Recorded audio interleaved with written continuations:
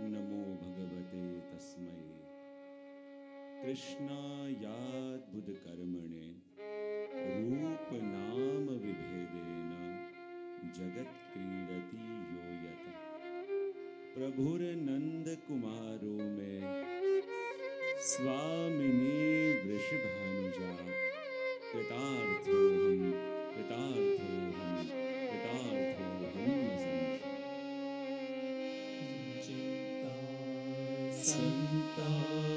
नमः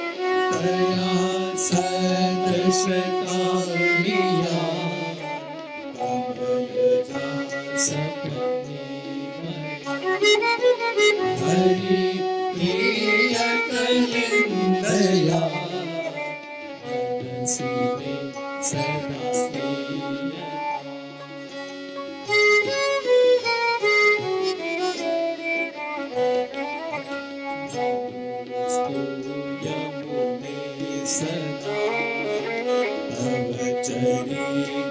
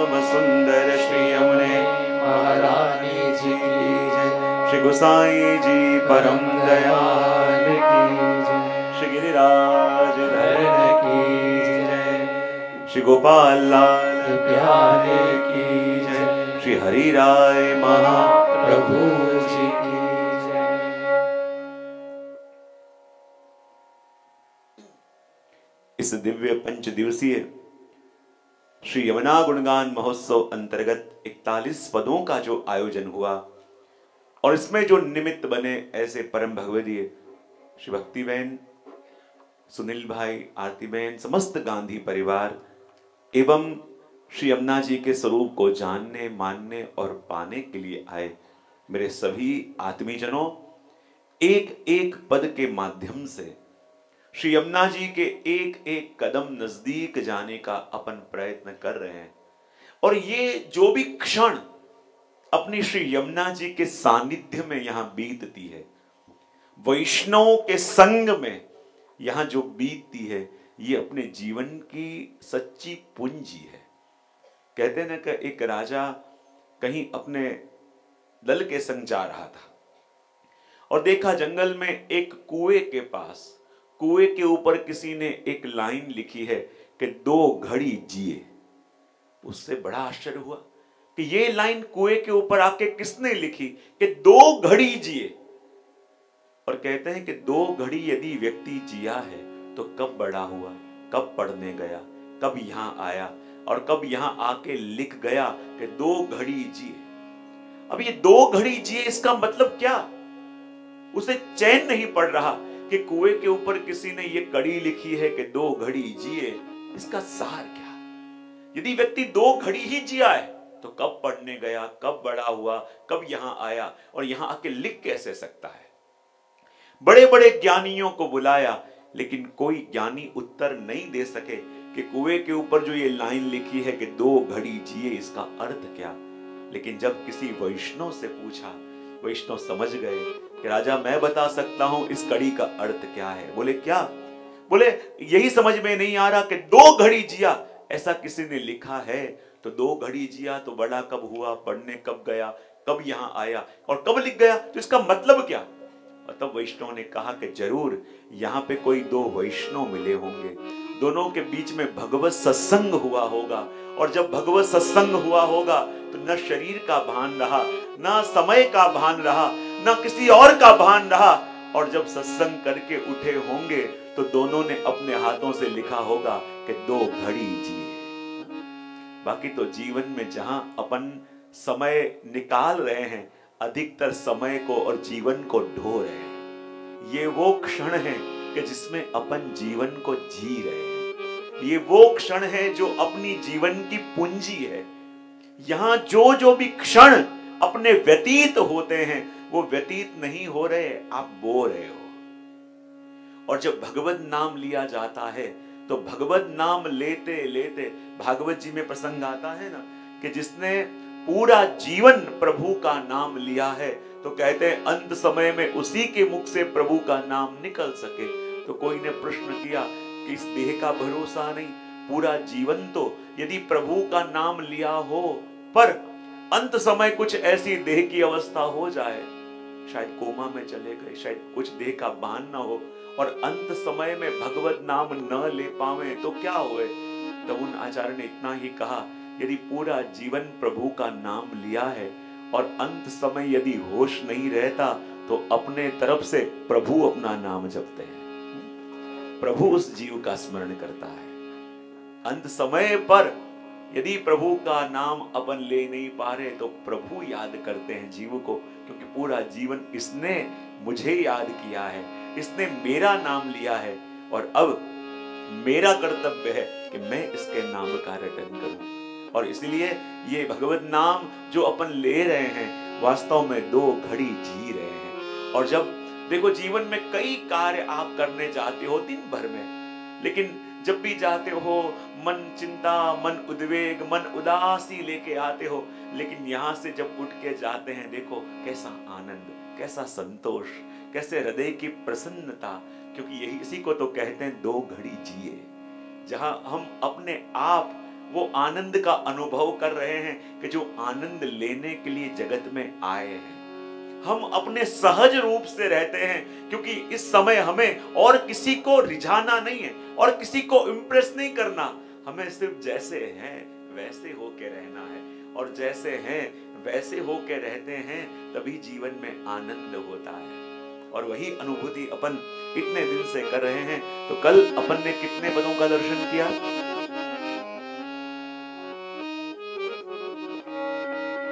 thirty four, बराबर। चौतीस पदों का दर्शन किया और कृष्णदास जी के पदों का दर्शन अपन कर रहे हैं और उन्हीं पदों की संख्या में आगे कृष्णदास जी कह रहे हैं कि श्री यमुने तुमसी एक हो जो तुम ही। तो पद का दान अपन करेंगे। लेकिन रोज मैं कहता हूँ कि इकतालीस पदों का महात्मा ऐसा है कि जब आप यहाँ पे आए तो अकेले नहीं आए। संग संग कौन आए हैं? संग संग कौन आए हैं? हाँ, क्या सुनने आए हैं? यमुना जी के। और मैंने पहले भी कहा था कि आपके माथे विराजते ठाकुर जी को आपके सिवाय और किसी का आवाज़ आता तो ठाकुर जी को कोरे कोरे ले जाना है, कि गुणगान सुना के ले जाना है। और गुणगान सुना के ले जाना है तो क्या करना पड़ेगा? बहुत बढ़िया। हमने तुलसी एक हो जो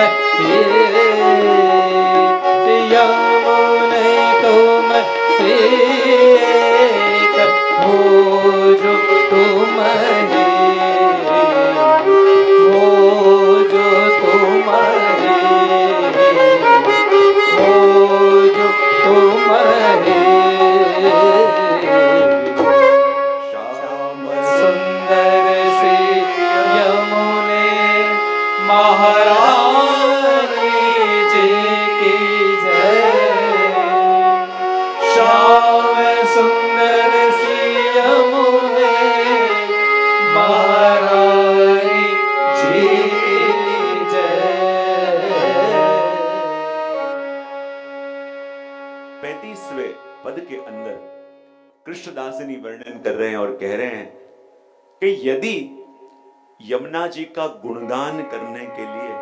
क्योंकि कहते हैं, जब गुणगान होता है तो उनको उपमाएँ दी जाती है कि आपके नेत्र ऐसे हैं, आपके केश ऐसे हैं, आपका मुख कमल जैसा है। तो जब जब भी गुणगान किए जाते हैं तो किसी की उपमा दे के उनकी प्रशंसा या वर्णन किया जाए। अब जब कृष्णदासिनी श्री यमुना जी के स्वरूप का वर्णन करने गए तो कहे कि मैं यमुना जी को यदि उपमा दू तो किनकी उपमा दू? जो उनके जैसा हो, उसकी उपमा दी जाती है ना? कहते हैं कि कमल जैसा मुख है, और ऐसे हिरणी के नेत्र जैसे नेत्र हैं, और जैसे भ्रमर आते हैं, वैसे ही आपके केश की लटे हैं। तो उनके जैसा कोई हो, उसकी उपमा दे के उनका वर्णन किया जा सकता है। लेकिन कृष्णदास जी ने विचार किया कि यमुना जी का गुणगान गाऊं तो मैं किसकी उपमा दूँ? उपमा उसकी दी जाती है कि जो उनके थोड़ा सा भी बराबर हो। लेकिन यमुना जी जैसा जगत में कोई है ही नहीं। और जब यमुना जी जैसा जगत में कोई है ही नहीं तो यमुना जी, मैं आपका यदि गुणगान भी करना चाहूँ तो कोई उपमा मुझे मिल नहीं रही। किसी ने कहा, क्यों उपमा नहीं मिल रही? तो कृष्णदास जी ने कहा, कि श्री यमुने तुमसी एक हो जो तुम ही। आपकी तरह यदि कोई हो तो मैं उसकी उपमा के द्वारा आपका वर्णन कर सकूँ।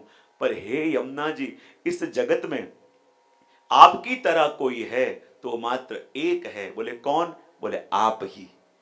क्योंकि आपके अलावा, आपके जैसा इस जगत में कोई हो नहीं सकता।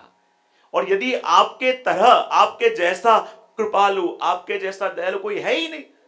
और इसलिए तो अपने वहाँ कहते हैं ना कि प्रभु भी कृपा करें और यमुना जी भी कृपा करें। पर दोनों की कृपा में फ़र्क क्या है? तो अपने भगवती वर्णन करते हैं कि दोनों कृपा करने वाले हैं। पर कृपा में फ़र्क इतना है कि प्रभु ने कृपा को बांटा और यमुना जी ने कृपा को लुटाया। बांटना और लुटाया, दोनों में क्या फ़र्क?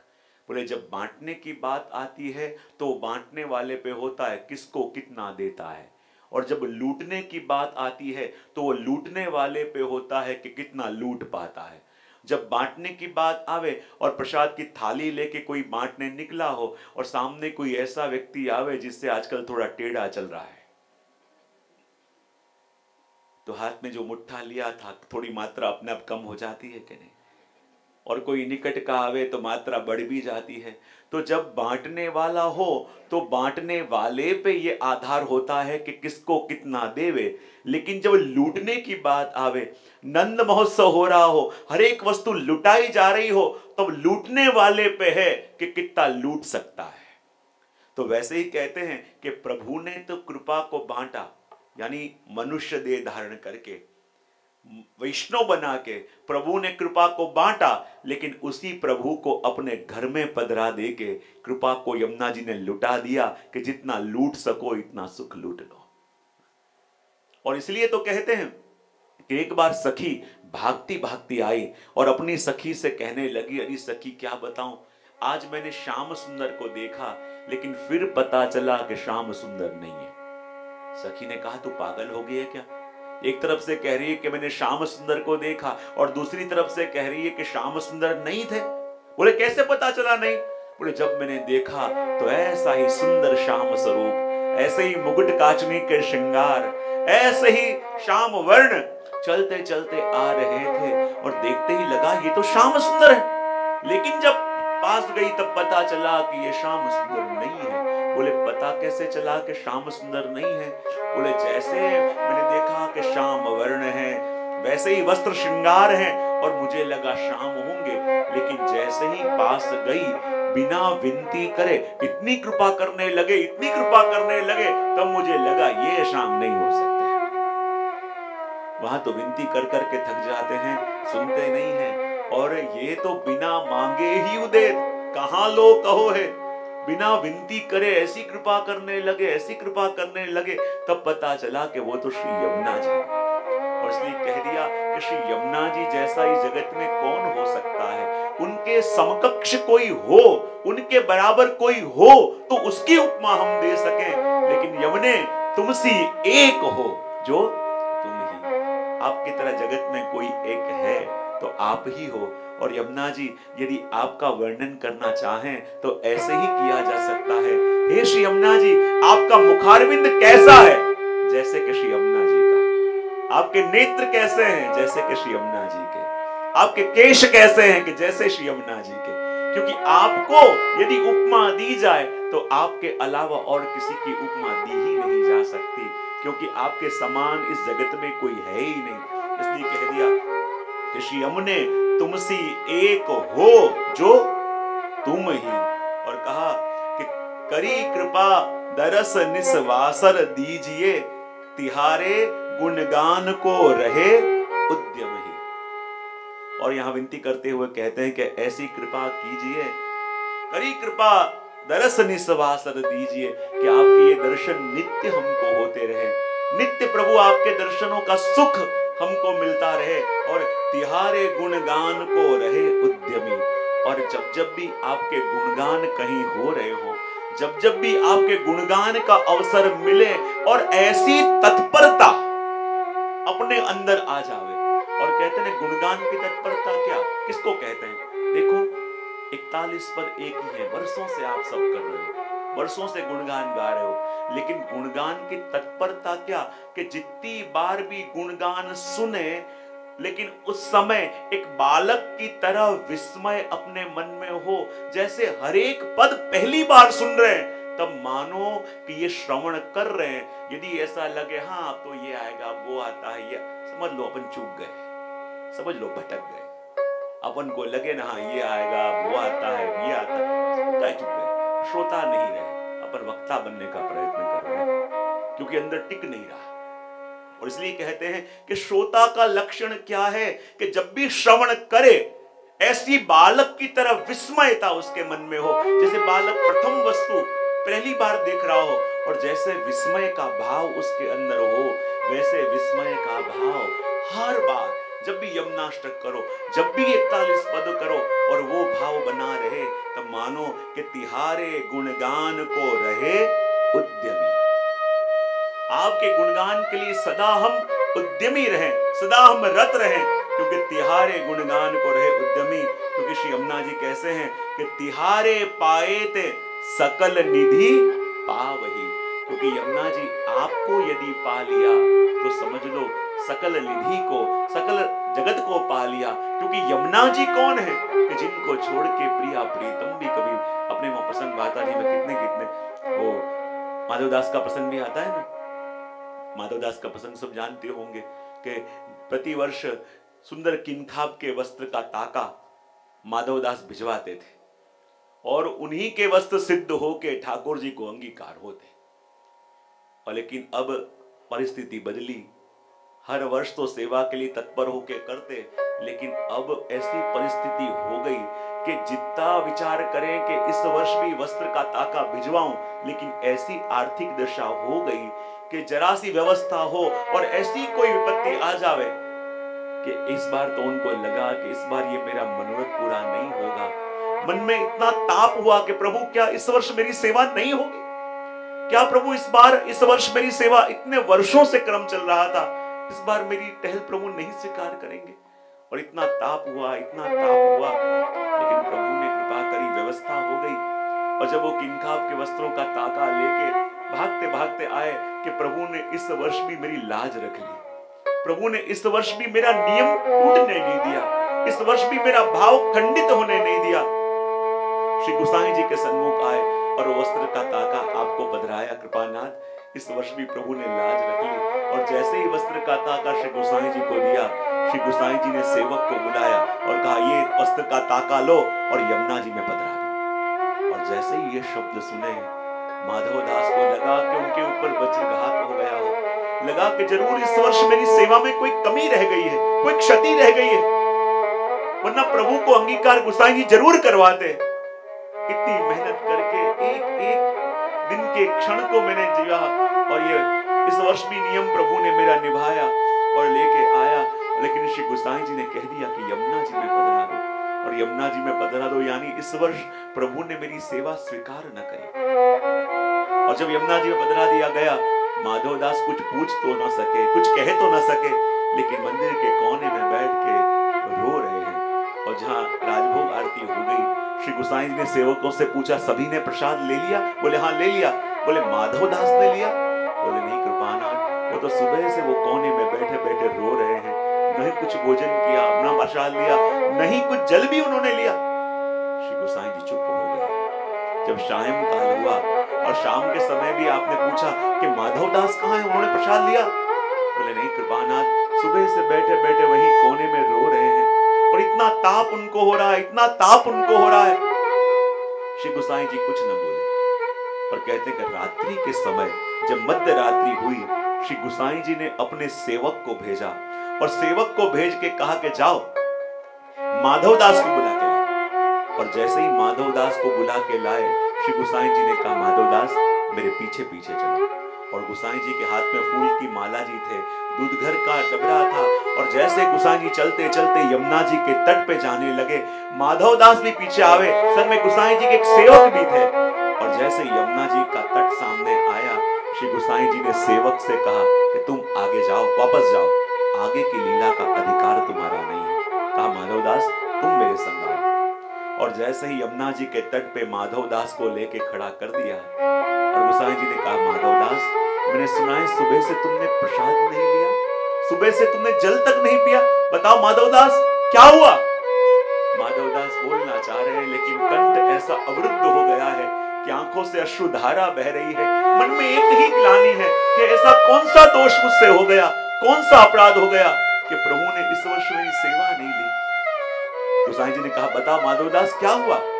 लेकिन माधव दास बोल नहीं पा रहे, और तब श्री गुसाई जी ने कहा माधव दास जो वस्त्र तुम लेके आए थे, और मैंने कहा कि इसे यमुना जी में पधरा दो, और इसलिए तुम्हें लगता है कि तुम्हारी सेवा प्रभु ने स्वीकारी नहीं? फूट फूट के रोने लगे कृपानाथ, मैं आपसे क्या कहूँ? आप तो सब जानते हो। तब श्री गुसाई जी ने माधव दास से कहा माधव दास मैंने वो वस्त्र यमुना जी में पधरा दिए और तुम्हें ऐसे लगता है कि प्रभु ने तुम्हारी सेवा स्वीकार नहीं करी? अरे तुम यमुना जी को क्या करके जानते हो? आओ आगे। और जैसे ही हाथ खींच के माधव दास को आगे बुलाया और कहा कि यमुना जी में दर्शन करो, और जैसे ही दर्शन करे तो यमुना जी के अंदर भव्य स्वर्ण के महल के दर्शन हुए, और उसी के बीच में एक स्वर्ण का सिंहासन है, और उसी सिंहासन में ठाकुर जी और स्वामी जी, वही माधव दास के वस्त्र धारण करके विराजमान। तब माधव दास को पता चला कि श्री यमुना जी में पधरा लिया और मुझे लगा कि सेवा स्वीकार न हुई। अरे यमुना जी तो वो है कि जिसके अंदर ठाकुर जी और स्वामी जी नित्य विराजते हैं। और इसलिए तो कहा कि तिहारे पाए थे, सकल निधि। एक आपको पा लिया तो मानो सबको पा लिया। एक यमुना जी को समझ लिया, मानो सबको समझ लिया। और एक यमुना जी मिले तो मानो सब कुछ मिल गया। और इसने कहा तिहारे पाए थे सकल निधि पावही। चरण कमल चित भ्रमर ब्रह्म ही ऐसी कृपा यमुना जी करो कि जैसे एक भ्रमर सदा कमल के ऊपर मंडराता रहता है। और कमल में इतनी आशक्ति भ्रमर को है कि जो भ्रमर अपना घर बनावे ना तो बाँस को काट के अंदर अपना घर बनाता है। और इतना सामर्थ्य भ्रमर के पास है कि बाँस को भी काट सकता है। लेकिन जब वो कमल का आस्वादन कर रहा हो और वहीं सूरज डूबे और कमल की पंखड़ियाँ बंद हो जाएँ तो जो भ्रमर बाँस को काट सकता है, वो कमल की कोमल पंखड़ियों को काट नहीं सकता और पूरी रात अंदर बैठा रहता है, क्योंकि कमल से उसकी प्रीति है और जहाँ प्रेम है, वहाँ वो चाहता नहीं है कि उसे पीड़ा हो तो पूरी रात बंद करके रहता है। वैसे ही श्री यमुना जी, आपके चरण रूपी कमल को सदा हम भ्रमर की तरह सेवन करते रहे। यही विनती आपसे करें। कृष्णदासनी कहे, कौन यह तप कियो? कृष्णदास कहते हैं कि ये ये वृक्ष यमुना जी के तट पे हैं। उन्होंने ऐसा कौन सा तप किया होगा कि जो यमुना जी के तट पे वृक्ष बन के खिले हैं? हम्म? तटस्थ नवकानना प्रकट मोद पुष्पाम्बुना सुरा, सुर सुपूजिता। कहते हैं, यमुना जी के तट पे जो ये वृक्ष हैं, कौन है? ये भगवदी है। और भगवती जन श्री यमुना जी के तट पे वास पाके नित्य यमुना जी का पूजन करते हैं, नित्य यमुना जी की सेवा करते हैं। और इसलिए कहा तिहारे ढिंग रहते हैं सदा, लता ध्रुम ही ये बात पैंतीसवें पद के अंदर संक्षिप्त में श्रवण करके अपन आगे बढ़ेंगे, क्योंकि आज इकतालीस तक अपन को पहुँचना है। इसलिए पैंतीसवें पद का श्रवण करके अब आगे छत्तीसवें पद के अंदर वर्णन करते हुए कृष्णदास जी कह रहे हैं कि ऐसी कृपा कीजिए, लीजिए नाम।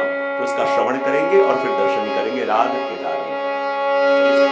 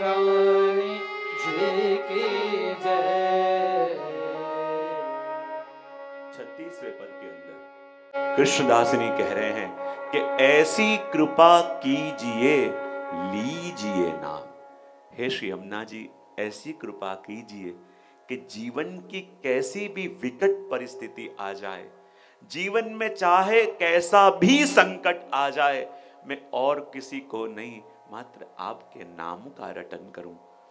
मात्र आपका नाम लूँ, क्योंकि देखो, बालक का स्वभाव कैसा होता है कि यदि माँ बालक को चांटा मार भी देती है तो भी बालक आके उसी माँ की गोद में सर रख के रोता है।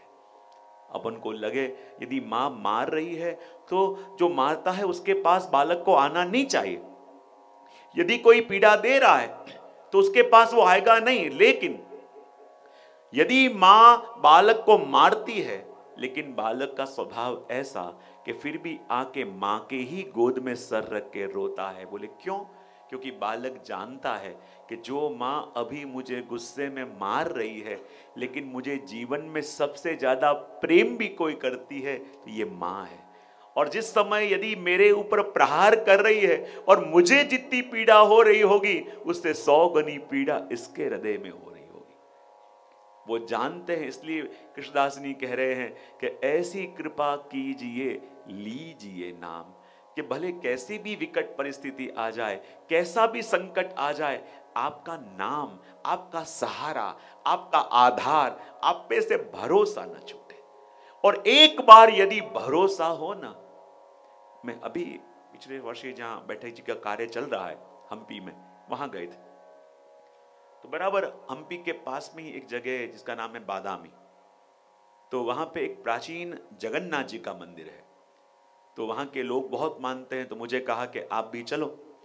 और मुझे भी लेके वो जगन्नाथ जी के मंदिर में गए और वहाँ की विशेषता ऐसी है, उन्होंने मुझे बताया था कि वहाँ पे रोज मिट्टी की हांडी में वहाँ चावल भोग आते हैं। लेकिन कहते हैं कि यदि हांडी अपन को अरोगानी हो तो उस दिन कुछ भी लिए बिना, कुछ भी प्रसाद लिए बिना वहाँ जाना होता है।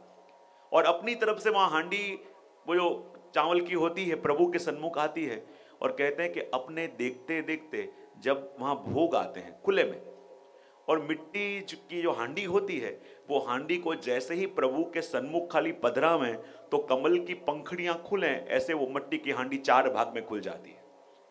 और उसमें से एक भी चावल का दाना बाहर ना गिरे। हमने सिर्फ़ सुना था, लेकिन हम लोग सम गए वर्ष भी थे।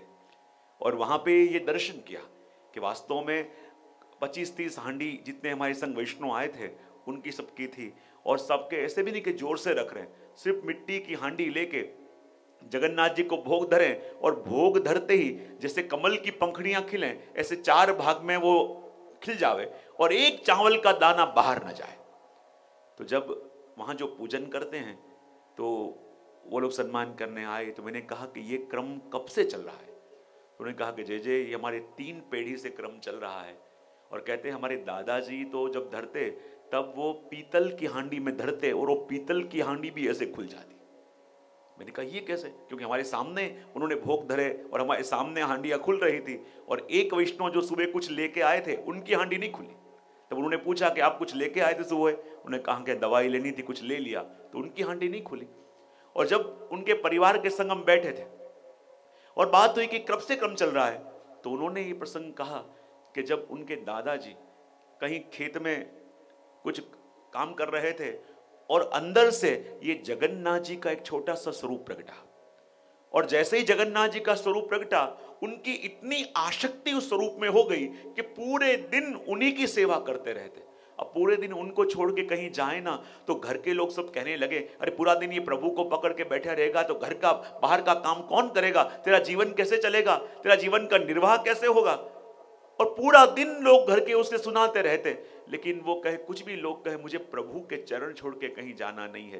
प्रभु के चरण मुझे छोड़ने नहीं है। मुझे प्रभु के ऊपर भरोसा है। लेकिन एक दिन पूरे परिवार ने उनको इतना सुनाया इतना सुनाया कि बाहर के कार्य नहीं करेगा तो तेरा क्या होगा? तेरा कैसे निर्वाह चलेगा? और तब उनको बहुत पीड़ा हुई और कहते हैं कि प्रभु के पास जाके बहुत रोए।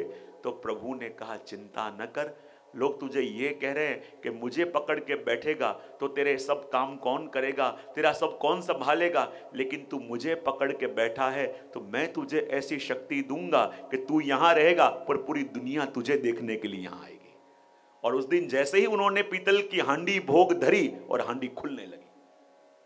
और जहाँ चारों ओर समाचार पहुँचे और लोग दूर दूर से उनको देखने के लिए आने लगे और कहते, आज भी उनके वंश में मिट्टी की हांडी रखे और हांडी खुल जावे। तो कहने का तात्पर्य इतना, प्रभु ने कहा कि यदि मेरे चरण का आश्रय करके बैठेगा तो तुझे दुनिया को रिझाने भागना नहीं पड़ेगा, दुनिया तुझे ढूंढती हुई तेरे पास आएगी। और इसलिए यहाँ पे कह दिया कि ऐसी कृपा कीजिए, लीजिए नाम। हे श्री यमुना जी, ऐसी कृपा आप कीजिए कि आपके अलावा ये मुख में और किसी का नाम ना आवे और जीवन में जैसी भी परिस्थिति हो, उस परिस्थिति में भी श्री यमुना जी, आपका नाम मेरे मुख से न छूटे। बस यही विनती मैं करता हूँ, क्योंकि श्री यमुना जी तो माँ है ना, और माँ का स्वभाव है कि चाहे बालक कैसा भी क्यों ना हो, वो उसकी माँ की नज़र में तो सदा उत्तम होता है। और प्रसंग आते हैं ना कि माँ का स्वभाव भी कैसा। कहीं मैंने सुना था कि एक देश के राष्ट्रपति जब यूरोप के किसी देश के अंदर गए थे, और यूरोप के वो देश में जब गए तो कहते हैं कि वहाँ का जो सेमेट्री जो कब्रिस्तान था, वो बहुत सुंदर बनाया हुआ था, और जो भी प्रेसिडेंट विज़िट करते तो उनको वो दिखाने ले जाते। अब वो प्रेसिडेंट को भी कहा गया कि हमारे वहाँ जो सेमेट्री है, सब लोग वहाँ की विज़िट करते हैं तो आप भी आओगे। उन्होंने कहा, ठीक है, चलेंगे। और वो कब्रिस्तान देखने के लिए आए, और देखते देखते जा रहे थे तो वहाँ पे कब्र थी। कि जिसके ऊपर लिखा था कि बिकॉज़ आई वॉज़ मदर क्योंकि मैं माँ थी।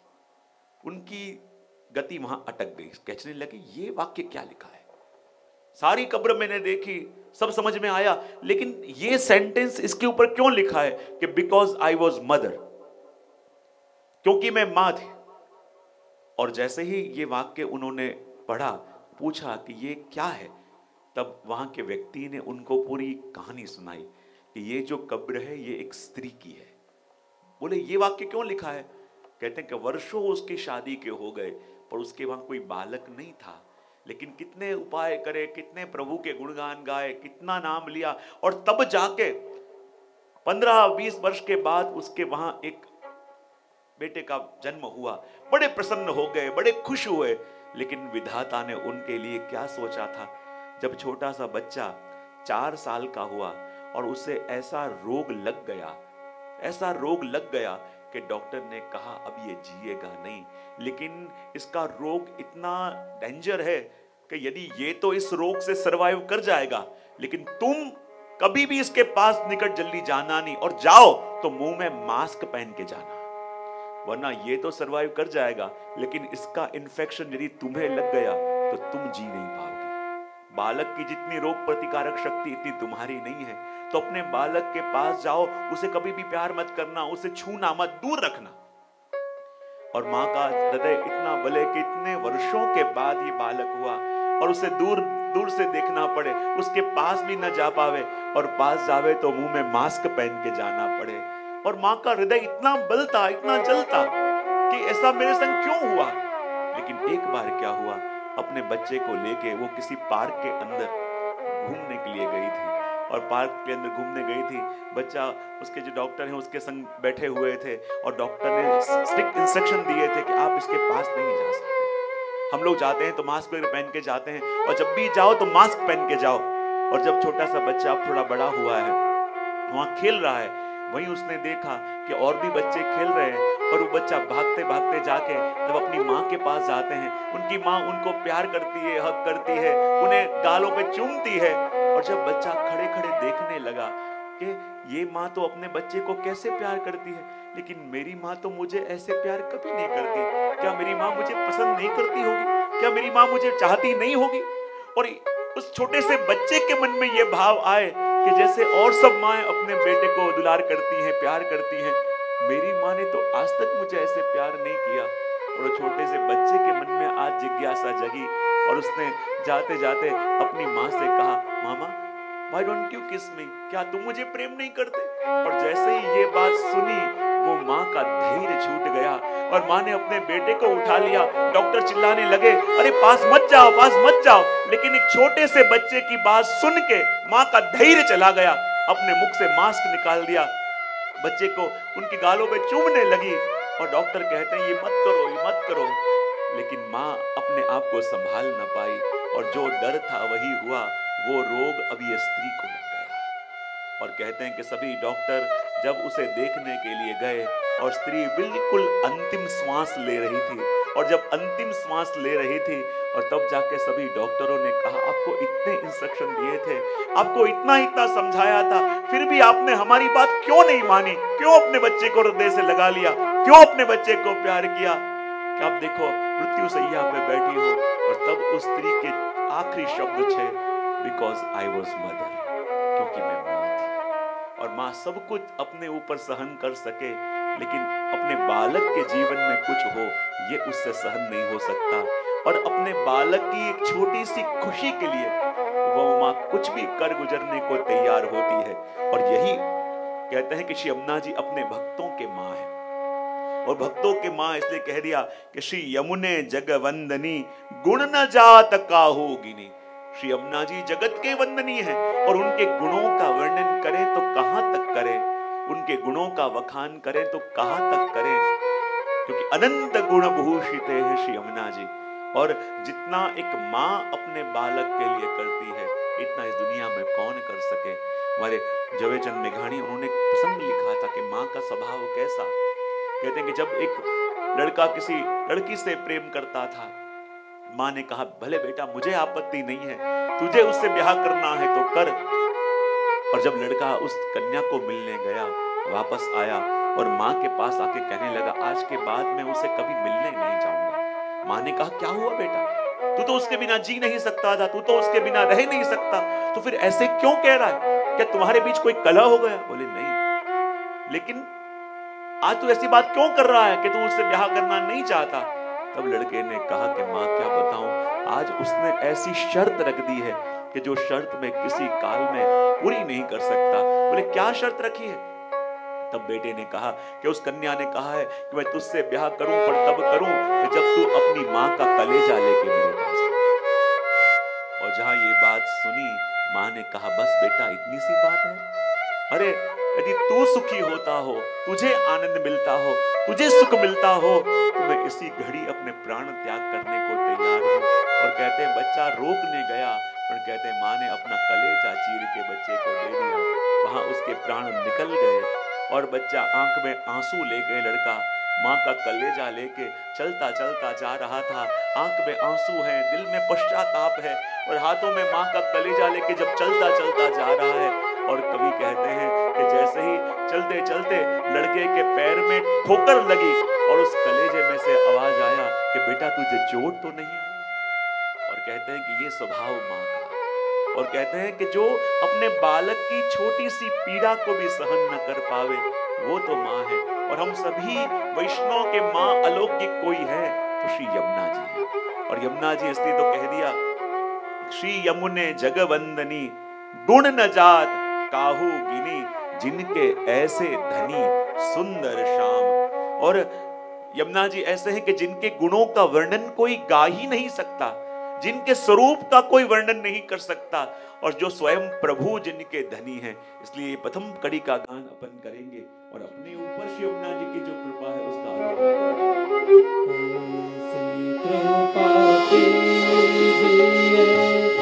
कृपा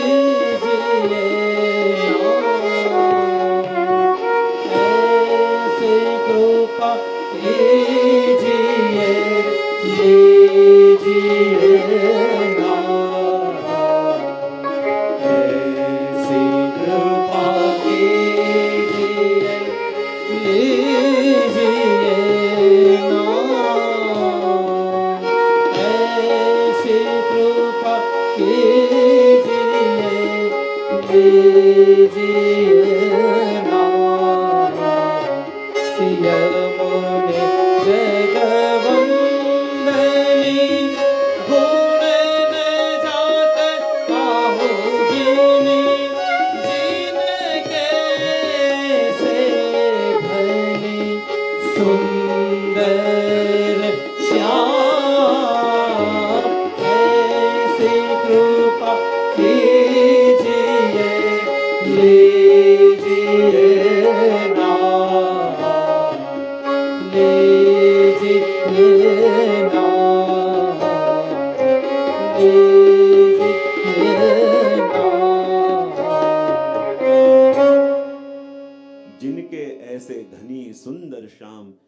आगे कृष्णदास जी कहते हैं कि देत संयोग रस कहते हैं कि प्रभु से मिलाने वाली कोई संयोगिनी शक्ति है तो श्री यमुना जी है।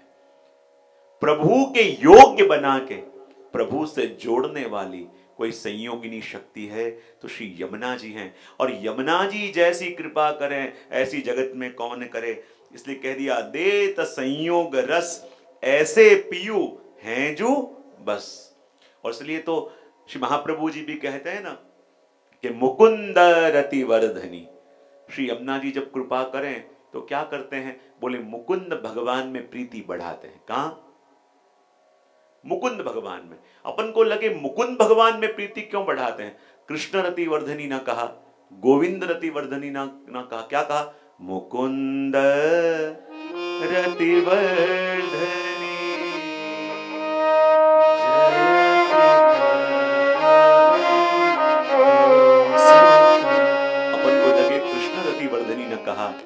गोपाल रति वर्धनी न कहा, पर महाप्रभु जी ने मुकुंद रति वर्धनी क्यों कहा? क्योंकि मुकुंद भगवान कौन है?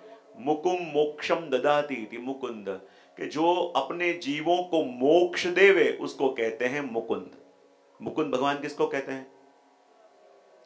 जो जीवों को मोक्ष देवे, उनको कहते हैं मुकुंद। और वैष्णव वो है कि जिसको मोक्ष चाहिए, अपने वहाँ तो थाली की आरती करते हैं ना तो चार मुठिया वार करके फेंकते हैं।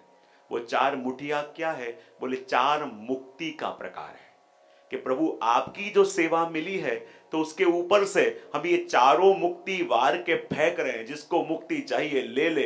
हमको मुक्ति नहीं, हमको तो जन्म जन्म आपकी भक्ति चाहिए। अपने वहाँ तो कहते हैं कि हरि ना जन तो मुक्ति न मांगे मांगे वारे वारे कि हे प्रभु, आपकी सेवा में ये एक जन्म भी हमको कम पड़ता है।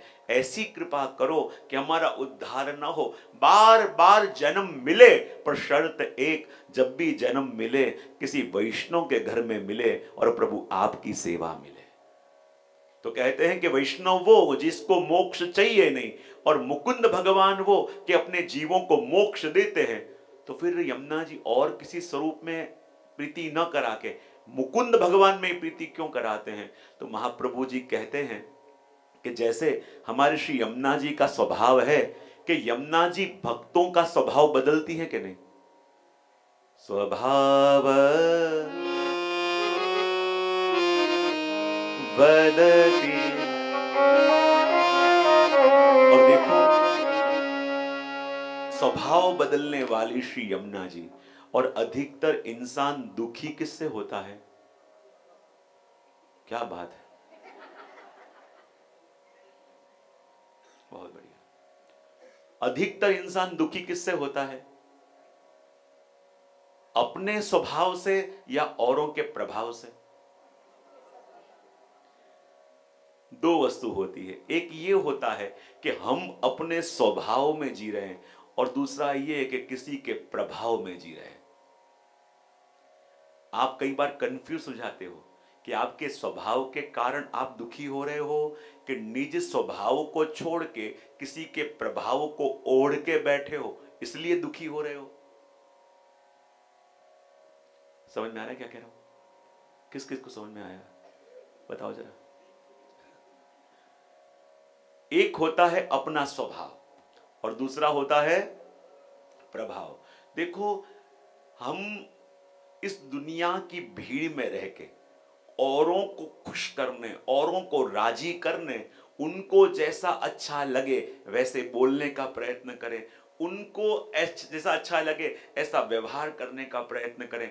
उनको जैसा अच्छा लगे ऐसा बिहेव करने का प्रयत्न करते हैं। तो आप जैसे हो, वैसे अभी हो, या औरों को जैसे चाहिए, वैसे हो रहे हो। फिर से। एक बार दुनिया में स्वभाव से स्वभाव विजयो भवत कहा, यानी हम अपने मूल स्वभाव में स्थित हो सकें।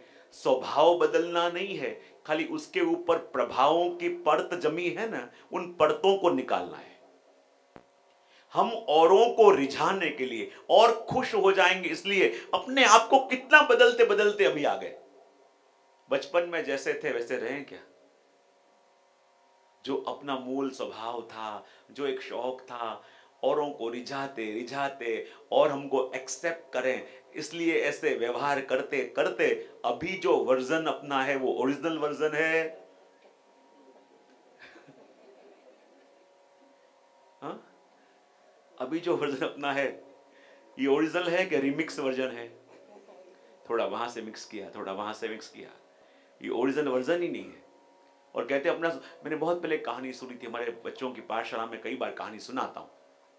कि एक बार क्या हुआ, एक फ्रूट की दुकान में एक पैर था। पैर जानते हैं ना?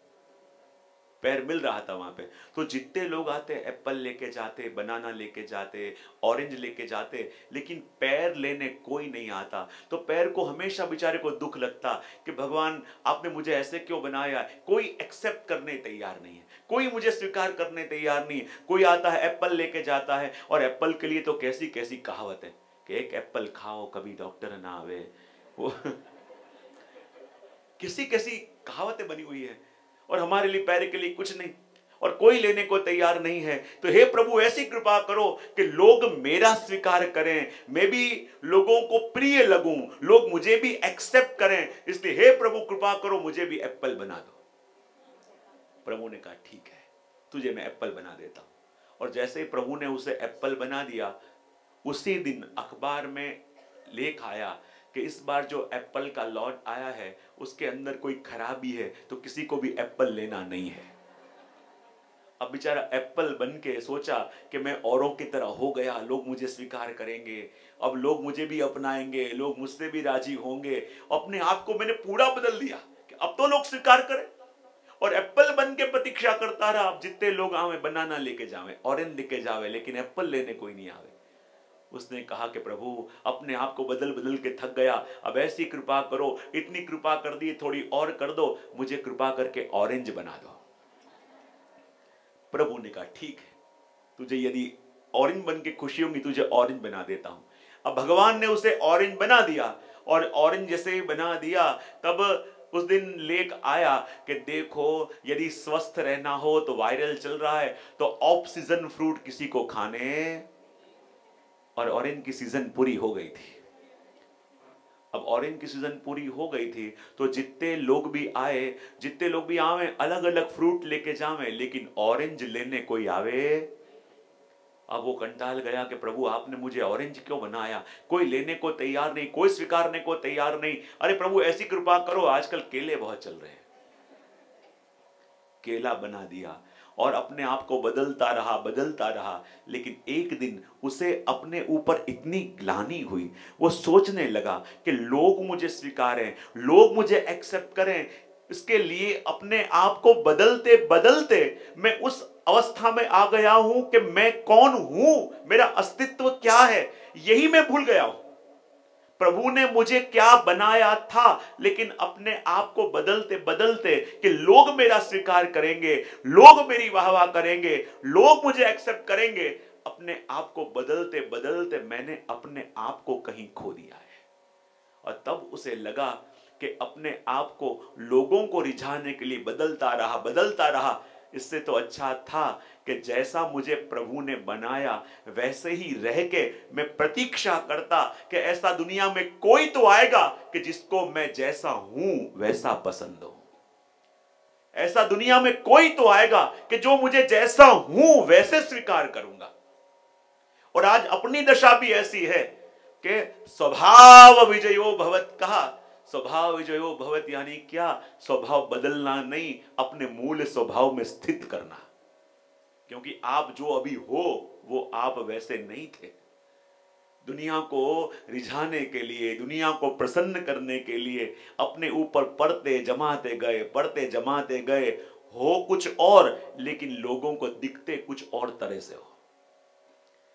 और इसलिए कह दिया कि स्वभाव विजय भव स्वभाव बदलते हैं, लेकिन महाप्रभु जी कहते हैं कि यमुना जी की महत्ता यहाँ तक कि यमुना जी सिर्फ़ भक्तों का स्वभाव ही नहीं बदलती, यमुना जी भगवान का स्वभाव भी बदलते हैं।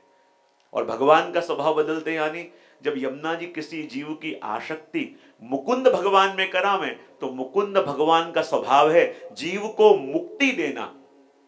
लेकिन यमुना जी मुकुंद भगवान का स्वभाव भी ऐसे बदलें कि अपने शरण में आए हुए जीव को मुक्ति देना भूल के दुर्लभ भक्ति उनको देने लगे। तो श्री यमुना जी ऐसे हैं कि जो भक्त का स्वभाव तो बदलती हैं और संग संग भगवान का स्वभाव भी। इसलिए कह दिया कि ऐसी कृपा कीजिए, लीजिए नाम। श्री यमुने जगवंदनी गुण न जात, काहू गिनी, जिनके ऐसे धनी सुंदर। और यमुना जी कैसी?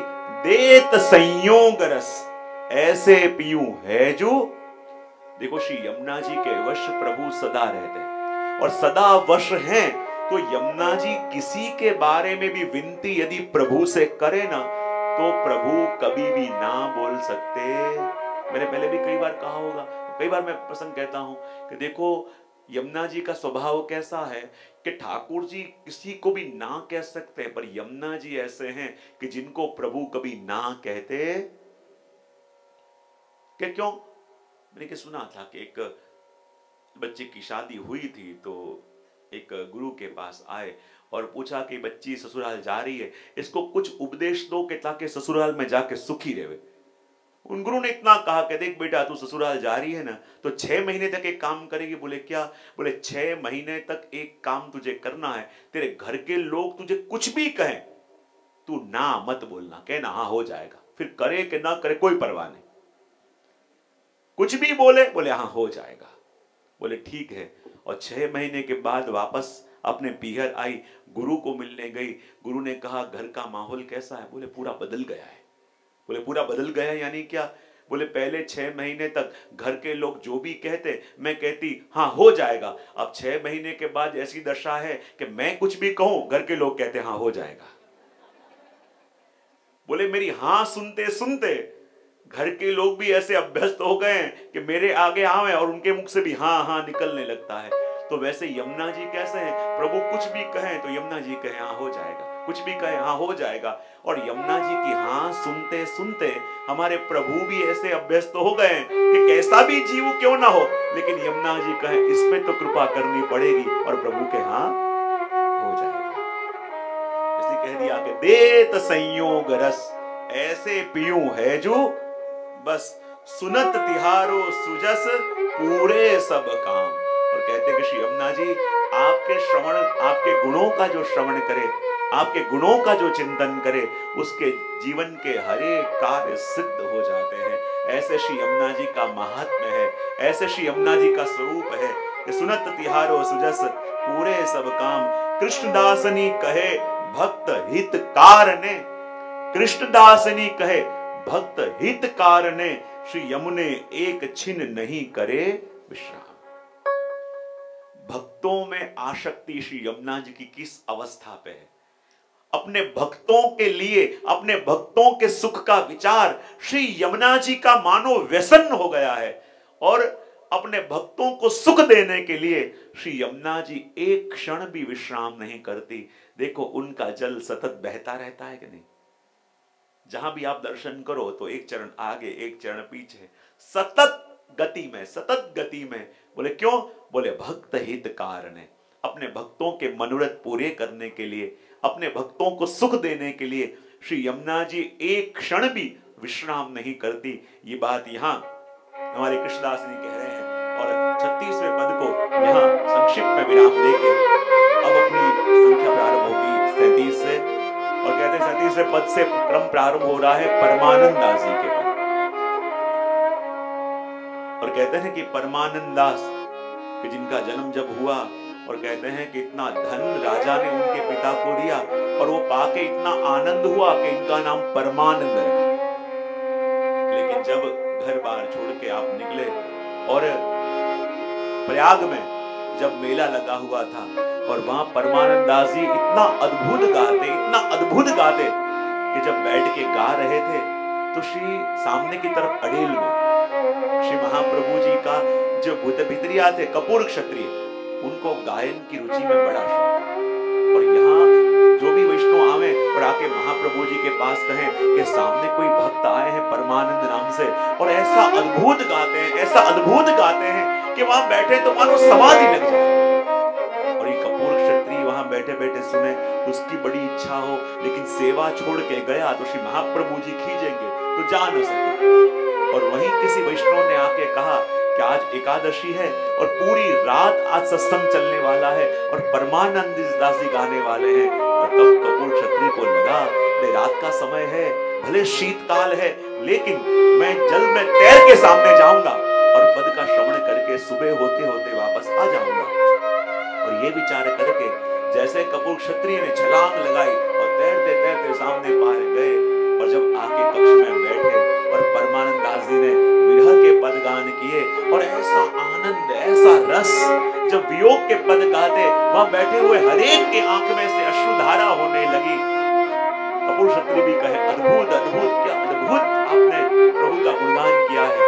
और वापस जब आ गए तो कहते हैं कि परमानंद दास जी जब सुबह हुई और थोड़ा विश्राम करने गए और जैसे ही आँख लगी तो क्या देखा? वही दृश्य याद आया कि खुद बैठ के गा रहे हैं। और जितने भी लोग उस समय उपस्थित थे, वो हरेक के चेहरे दिखाई दिए और उसमें फिर कपूर क्षत्रिय दिखाई दिए कि जो श्री महाप्रभु जी के सेवक हैं। लेकिन जैसे ही दृष्टि नीचे पड़ी तो क्या देखा? बोले, कपूर क्षत्रिय तो हैं, लेकिन उनके गोद में स्वयं श्री नवनीत प्रिया जी भी परमान दास जी को सुनने आए हैं। और जैसे जैसे परमान दास जी गा रहे हैं और नवनीत प्रिया जी अपने हाथों से ताल दे रहे हैं। और जब ये परमान दास जी ने देखा कि मेरे पद सुनने के लिए प्रभु का स्वरूप पधारा है। बेचैन हो गए कि वो जो वैष्णव आए थे, वो कहाँ के हैं? बोले, वो तो श्री महाप्रभु जी के सेवक हैं, सामने हैं। बोले, अभी अभी गए हैं। और जैसे ही पहुँचे, नाव जा रही सीधी छलांग लगाई परमान दास जी ने और तैरते तैरते पहुँचे। वही श्री महाप्रभु जी संध्या वंदन कर रहे हैं, उनके दर्शन हुए और श्री महाप्रभु जी के सेवक परमान दास जी हुए और ऐसी कृपा इनके ऊपर हुई कि इनको लेने के लिए स्वयं नवनीत प्रिया जी पधारे। और नवनीत प्रिया जी ने जिनका वर्ण किया, अब ऐसे परमानंदास जी जब श्री यमुना जी का गुणगान गावे तो क्या बाकी रहे? और वही पुरान जी ने कहा कि श्री यमुने के साथ अब फिरत है ना, देखो। अपने वहाँ कहते हैं कि श्री यमुना जी भूतल पे क्यों पधारी? शायद लास्ट सेशन में अपन ने सुना भी होगा, प्रसंग कहा भी होगा। कि कैसे जो प्रभु के लीला के जीव हैं भूतल पे आए। याद है ना सबको? किसको याद है? और उनको लेने के लिए कैसे यमुना जी भूतल पे आए? याद है? अब एक लोगों ने कहा हाँ, याद है। वरना पूछ लेंगे। पसंद नहीं है कि जब सब भक्त आए गोलोक धाम में और यमुना जी से विनती करी कि प्रभु राधा जी के संग तो नित्य रास करते हैं। पर हमारी ऐसी इच्छा है कि यमुना जी आपके संग प्रभु रास करें। और आप प्रभु के संग रास कर रहे हो, वो दर्शन हमको हो तो हमारा जीवन धन्य हो जाए। लेकिन यमुना जी ने कहा कि रास का नियम है, राधा जी के बिना रास नहीं होता। जो राधा जी जानेंगी तो खींचेंगी। लेकिन ब्रजभक्तों ने कहा कि नहीं, हमारी ऐसी इच्छा है कि गोलोक धाम के अंदर ऐसा उत्सव कभी नहीं हुआ कि आप प्रभु के संग नृत्य कर रहे हो और ये रास का आनंद कैसा अद्भुत होगा। लेकिन राधा जी को खबर पड़ गई तो बोले, चिंता न करो, एकांत स्थान हमने निश्चित कर लिया है। प्रभु को भी मना लिया और जहाँ प्रभु और यमुना जी रास कर रहे थे, वहाँ स्वामी जी को पता चला कि प्रभु मेरे बगैर रास और स्वामी जी कुपित होके वहाँ आने लगे। सबको पता चला कि स्वामी जी पधार रहे देखेंगे नाराज़ होंगे तो क्या करें? तो यमुना जी ने क्या किया? जल का रूप लिया और जल बन के वहाँ बहने लगे। अब हज़ारों व्रजभक्त थे। वो हज़ारों व्रजभक्त कहाँ जाए? तो उन्होंने पुष्प का रूप लिया और पुष्प की माला बन के ठाकुर जी के कंठ में आ गए और जैसे ही राधा जी पधारे मैंने तो सुना था कि यहाँ रास हो रहा है, लेकिन कोई दिख नहीं रहा। सब कहाँ गए? दृष्टि पड़ी, पास में जल बह रहा है। फिर विचार करें, इतने सारे व्रजभक्त थे, वो कहाँ गए? लेकिन जैसे ही प्रभु के कंठ में दृष्टि पड़ी और नूतन पुष्पों की माला देखी, स्वामी जी को संशय हुआ, आगे आए और अपने हाथों से ठाकुर जी के कंठ की माला पकड़ी और जैसे ही माला खींची तो माला टूटी और पुष्प के रूप से परोए हुए भगवती जन नित्य लीला से अलग होके भूतल में आके गिरे और जहाँ नित्य लीला से भूतल पे आके गिरे तो यमुना जी को इतना वियोग हुआ, इतना वियोग हुआ कि मेरे सुख के लिए जिन्होंने मनोरथ किया और उनको मेरे कारण आज भूतल पे जाना पड़ा तो मैं भी प्रण लेती हूँ कि लीला से बिछड़े हुए जीवों को वापस प्रभु की लीला में न लाऊं, वहाँ तक मैं भी भूतल में ही रहूँगी। ये विचार करके गोलोक धाम को छोड़ के यमुना जी भूतल पे और इसलिए कहते हैं कि जब भी लीला के अंदर यमुना जी ठाकुर जी के संग रास करते हो ना तो रास के समय में यमुना जी जीवों की सुधि प्रभु को करवाते हैं। हाँ? कि देखो प्रभु, जिन जिन जीवों को प्रभु भूल गए हो, उनको कैसे यमुना जी याद करवाते हैं, ये वर्णन चारों पदों के अंदर परमानंदा जी ने बताया। ये चारों वर्णन कौन से हैं? सुधी के। और ये यमुना जी के पद, जिन जिन ने श्रवण करे तो ये चार पद वो हैं कि जिनकी सुधी अब श्री यमुना जी प्रभु को ले आएँगे भूतल में आके हम प्रभु को भूले, प्रभु ने सहन किया। प्रभु से दूर गए, प्रभु ने सहन किया। लेकिन प्रभु के होके, जगत के होने गए, तब प्रभु से सहन नहीं हुआ। लेकिन अब यमुना जी, ऐसे हम जीव के जिनको प्रभु भूलने को तैयार हुए हैं, उन प्रभु को इन चार पदों के अंदर अपनी सुधि करवाते ये चारों पद सुधी के हैं कि रास करते करते हमारी याद यमुना जी प्रभु को कैसे करवाते हैं? तो इस पद का श्रवण अपन करेंगे सैतीसवें पद में। श्री यमुने के साथ अब फिरत है नाथ बिहार, कल्याण, अकल्याण। कल्याण श्री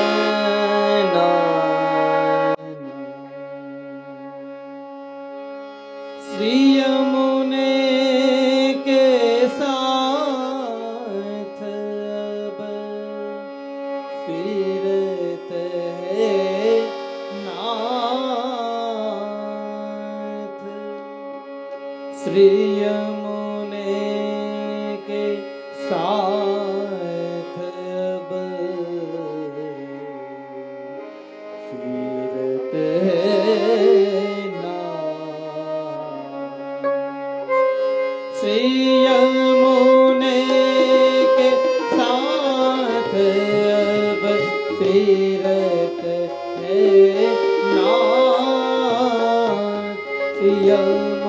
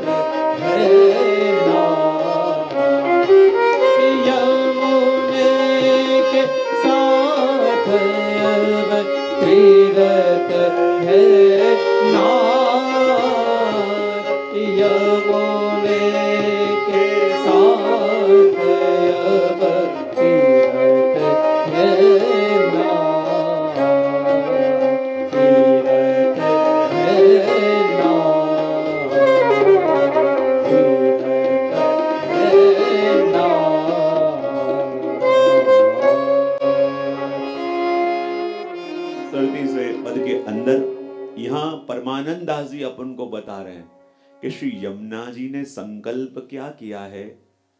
मैंने पहले ही कहा होगा ज़रूर कि यमुना जी का नाम जब अपन लेते हैं तो क्या घटना घटती है? किसी को याद है? जब जब भी अपन यमुना जी का नाम लेते हैं ना तो मैं हमेशा कहता हूँ, यमुना जी का एक स्वभाव है। स्वभाव क्या है? कि जब भूतल में अपन अपने मुख से यमुना जी का नाम लेते हैं, उसी समय अपना नाम श्री यमुना जी के मुख से निकलने लगता है। यमुना जी का स्वभाव क्या है? कि जिस समय अपन यहाँ यमुना जी का नाम ले रहे हैं तो हमारे यमुना जी का स्वभाव है कि उसी समय यमुना जी के निकुंज में गोलोक धाम में यमुना जी के मुख से अपना नाम निकलने लगता है। और जैसे ही अपना नाम यमुना जी के मुख से निकलने लगे, यमुना जी व्याकुल हो जाती हैं कि ये तो वो जीव है कि जिसको प्रभु भूले हैं। ये तो वो जीव है जो मेरे प्रभु से दूर हो गया है। और आज मुझे याद कर रहा है तो मैं कैसे करके मेरे प्रभु को इस जीव की याद दिलाऊं? और कहते हैं, जिस समय अपन यहाँ यमुना जी का नाम लें यमुना जी के मुख से अपना नाम निकलने लगे और यमुना जी भागते भागते जावे और प्रभु की निकुंज के बाहर खड़े हो जावे और जिस समय यहाँ अपन यमुना जी का नाम ले रहे हैं, उस समय वहाँ यमुना जी के मुख से अपना नाम निकलने लगे और उसी समय जब राधा जी अपने निकुंज से निकल के प्रभु के निकुंज में जा रही हूँ, और उस समय अपन ने यहाँ यमुना जी का नाम लिया, यमुना जी के मुख से अपना नाम निकला, और वो नाम जब राधा जी के कानों में पड़ा, और राधा जी ने प्रभु के पास जाके अपने नाम की सुधि कराई, तब जाके जीव का यहाँ ब्रह्म संबंध होता है। ऐसे मत मानना कि ब्रह्म संबंध लेने की आज्ञा ले ली उपवास कर लिया और ब्रह्म संबंध हो गया, ऐसे ब्रह्म संबंध नहीं होते। जाने अनजाने में कभी ना कभी अपने मुख से श्री यमुना जी का नाम निकला होगा। और उसी समय श्री यमुना जी के मुख से अपना नाम निकला वो नाम राधा जी के कानों में पड़ा और राधा जी ने प्रभु को जब अपने नाम की सुधी लिवाई, तब जाके ब्रह्म संबंध हुआ। और इतना ही नहीं कहते हैं कि जब अपन यमुना जी का नाम ले, यमुना जी के मुख से अपना नाम निकले और वो नाम जब राधा जी के कानों में पड़े और वो नाम सुन के जो राधा जी मंद मंद स्मित करें तो समझ लो इसी देह से अपन को प्रभु की प्रगट लीला के दर्शन हो जाएँगे। जिस समय यमुना जी का नाम मुख से निकला, यमुना जी के मुख से अपना नाम निकला, वो नाम राधा जी के कानों में पड़ा और राधा जी ने ये नाम सुनते ही मुड़ के देखा तो समझ लो, ये सदेह अपना भगवत लीला के अंदर प्रवेश हो जाएगा तो श्री यमुना जी का नाम जब अपन लेते हैं, पता नहीं है कि क्या घटना घटती है। श्री यमुना जी का नाम लेने मात्र से क्या घटित तो होता है, ये अनुभव अपन को नहीं है। इसलिए कहते हैं कि श्री यमुने के साथ अब फिरत है नाथ। अब देखो, इतने दिन पाँच पाँच दिनों से आपने यमुना जी का नाम लिया है कि नहीं? हम्म? और अपनी दशा क्या है? प्रभु से अलग हुए। अलग हुए तो भी प्रभु नहीं भूले। प्रभु से अलग हो के प्रभु को भी भूले, लेकिन फिर भी प्रभु नहीं भूले। लेकिन जब प्रभु को पता चला कि प्रभु के हो के प्रभु को भूले, प्रभु ने दुख न किया प्रभु से दूर गए, प्रभु ने दुख न किया, लेकिन प्रभु के होके, जब औरों के होने गए, ये वस्तु प्रभु से सहन न की और प्रभु ने उस जीव को बुलाया। प्रभु ने कहा, तू मुझे भूले चलेगा। तू मुझसे बिछड़ा मैं तुझे नहीं भूलूँगा। लेकिन मेरा होके तू औरों का होने गया, ये मुझसे सहन नहीं होगा। और उसी घड़ी प्रभु उस जीव को भूले। और जब प्रभु उस जीव को भूले तो यमुना जी को चिंता हो गई कि यदि प्रभु जब इस जीव को भूलेंगे तो इसे भव सागर में डूबते कौन बचा सकेगा? यदि प्रभु हाथ छोड़ देंगे तो उसका हाथ कौन पकड़ेगा? यदि प्रभु ही भूल गए तो उसके वापस लौटने की सारी संभावनाएँ समाप्त हो जाएँगी। जैसे रामायण के अंदर सभी वानरों ने राम राम लिख के पत्थर डाले और पुल बना, लेकिन भगवान ने प्रयत्न किया, पत्थर डाला, पत्थर डूब गया। फिर डाला डूब गया, फिर डाला डूब गया। हनुमान जी ने कहा, प्रभु, कुछ चिंता लग रही है। प्रभु कह रहे समझ में नहीं आ रहा। सभी वानरों ने मेरा नाम लिख लिख के पत्थर पानी में डाले, पत्थर तैरने लगे। जब स्वयं मैं डाल रहा हूँ तो क्यों डूब रहा है? तब हनुमान जी ने कहा, प्रभु, उन पत्थरों को तो आपके नाम का सहारा मिला, इसलिए भव सागर में तर गए। पर जब भगवान किसी को अपने से दूर फेंके, उसे भव सागर में डूबते कौन बचा सके? नाम का सहारा मिला, वो तो तर गए। लेकिन जब भगवान किसी को अपने से दूर करें इसको भव सागर में डूबते कौन बचा सके? और जब यमुना जी ने देखा कि ये जीव जब प्रभु के भूल के औरों के होने गए तो प्रभु को पसंद ना आया और प्रभु उन जीवों को भूले।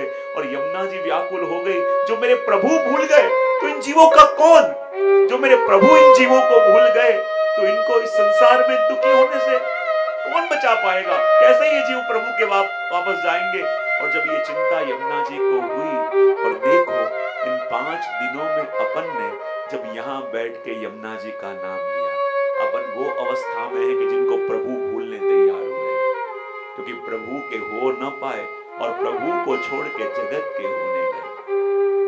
जो प्रभु अपने घर में है, उन पर जितना भरोसा है, उनसे भी अधिक भरोसा जगत के लोगों के ऊपर है। और जो प्रभु के ऊपर भरोसा नहीं रहा, यानी प्रभु ने हाथ छोड़ दिया है। और हाथ छोड़ दिया है तो पाँच दिन तक यहाँ आके जब यमुना जी का गुणगान आप सभी ने गाया तो निश्चित मानना, जब आपके मुख से यमुना जी का नाम निकला ना तो वहाँ आज यमुना जी के मुख से यहाँ बैठे एक एक वैष्णव का नाम निकला होगा। और जब एक एक वैष्णव का नाम निकल रहा है तो यमुना जी कहें, यही अवसर है कि मेरे प्रभु को उन जीवों की स्तुति कैसे कराऊं? मेरे प्रभु को उन जीवों की स्तुति कैसे कराऊं? क्योंकि यहाँ बैठे हुए सभी उनका नाम ले रहे हैं और उनके मुख से यहाँ बैठे हुए हर एक वैष्णव का नाम आज निकल रहा है। तो यमुना जी कहे, मेरे प्रभु को उनके नाम की स्तुति कैसे कराऊं? और यमुना जी ने कहा कि आज मैं ऐसे श्रृंगार करके जाऊँ कि प्रभु को सुख मिले। और जब प्रभु प्रसन्न होंगे तब मैं मांगूँगी कि मेरे ये जीवों की स्तुति प्रभु आप लो मेरे ये जीवों की पकड़ प्रभु ढीली है। लेकिन कृपा करके आप इनका हाथ मत छोड़ो। और तब यमुना जी ने क्या किया?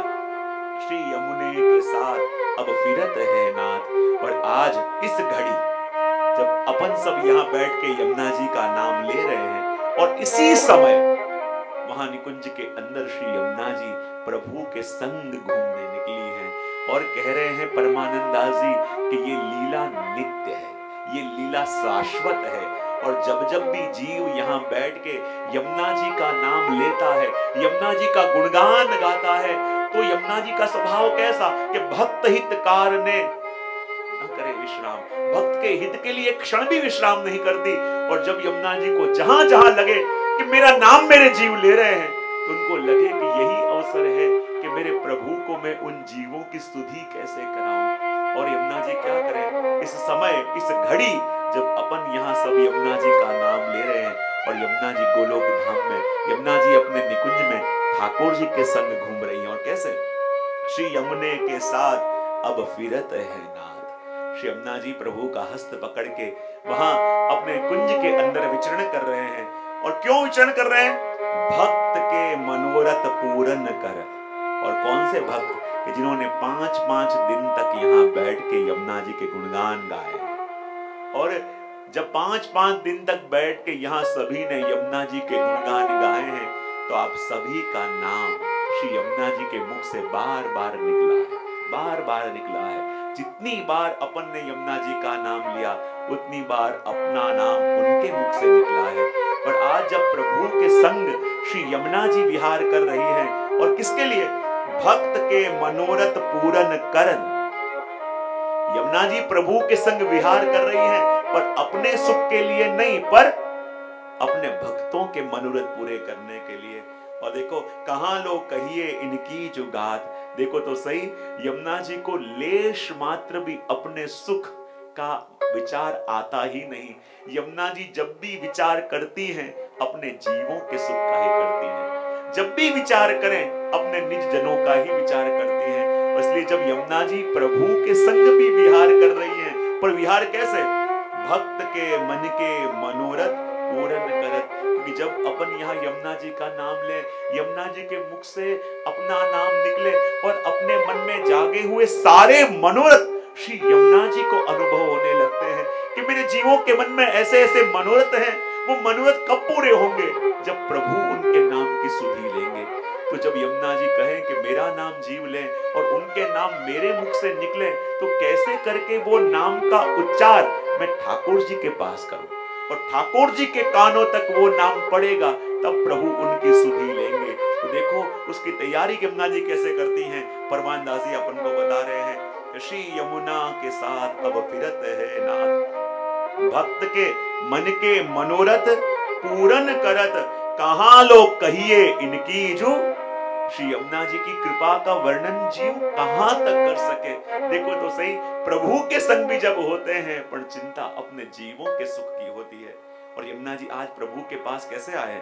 विविध श्रृंगार आभूषण पहले जैसे जैसे श्रृंगार हमारे प्रभु को प्रिय है वैसे वैसे श्रृंगार आज यमुना जी ने धरे सुख अपना विचार नहीं है। बोले, प्रभु, कैसे करके प्रसन्न हो? क्योंकि प्रभु प्रसन्न होंगे, तब मैं अपने भक्तों का सुख मांगूँगी। तब मैं अपने भक्तों के मनोरथों की बात प्रभु से करूँगी। तब मैं प्रभु की कृपा कैसे उन जीवों के ऊपर हो, उसका स्मरण कराऊँगी। इसलिए विविध श्रृंगार, आभूषण पहरे अंग अंग शोभा बरनी न जाए।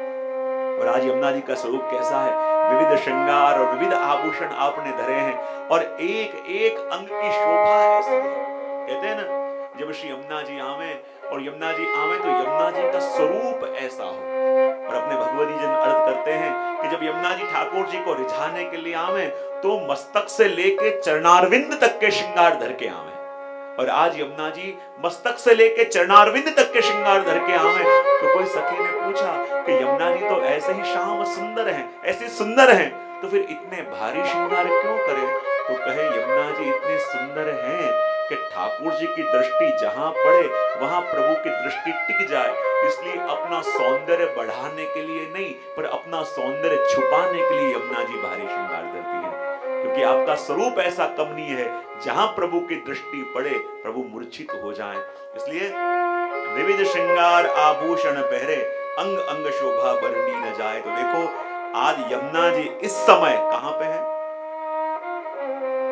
और पाँच दिन तक अपन उनका नाम ले रहे हैं। तो अपने नाम की सुधि श्री यमुना जी प्रभु को अभी करवा रही है। और जैसे जैसे अपने मुख से नाम निकले उनके मुख से अपना नाम निकले और वो नाम जब प्रभु के कान में पड़े, तब जाके वो अपनी सुधि लें। तो इस समय प्रथम कड़ी का गान अपन करेंगे और दर्शन करेंगे। यहाँ प्रभु यमुना जी अकेले नहीं, अपने प्रभु के संग संग विहार कर रही है। और कैसा शुरू सिया मुने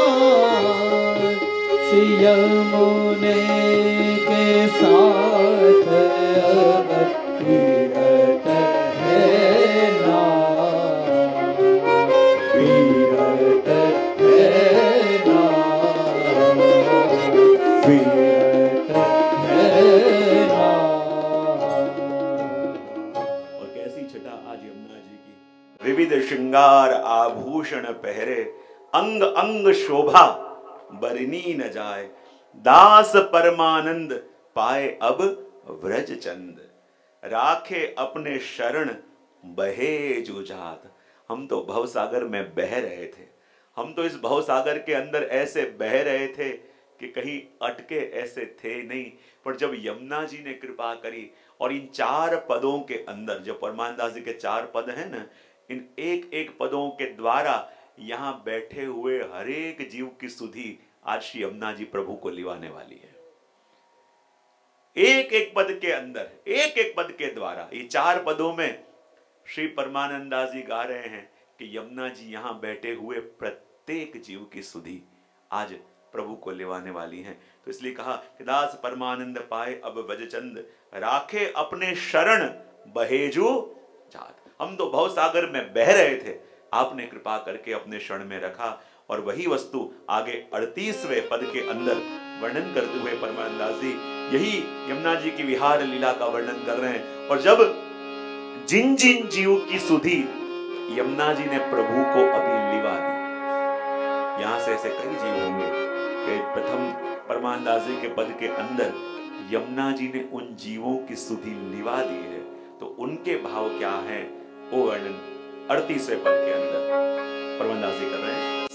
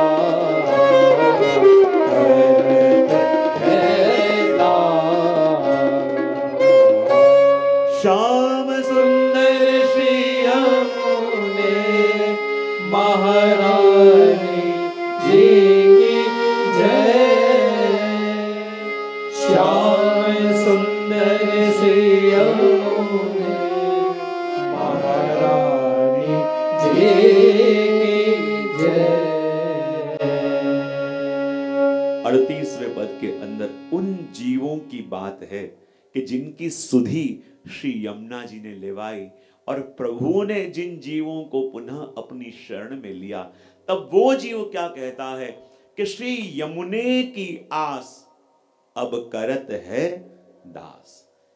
हम में और उन जीव में क्या फ़र्क? हमारी अवस्था क्या है कि श्री यमुने से आश और यमुना की आश?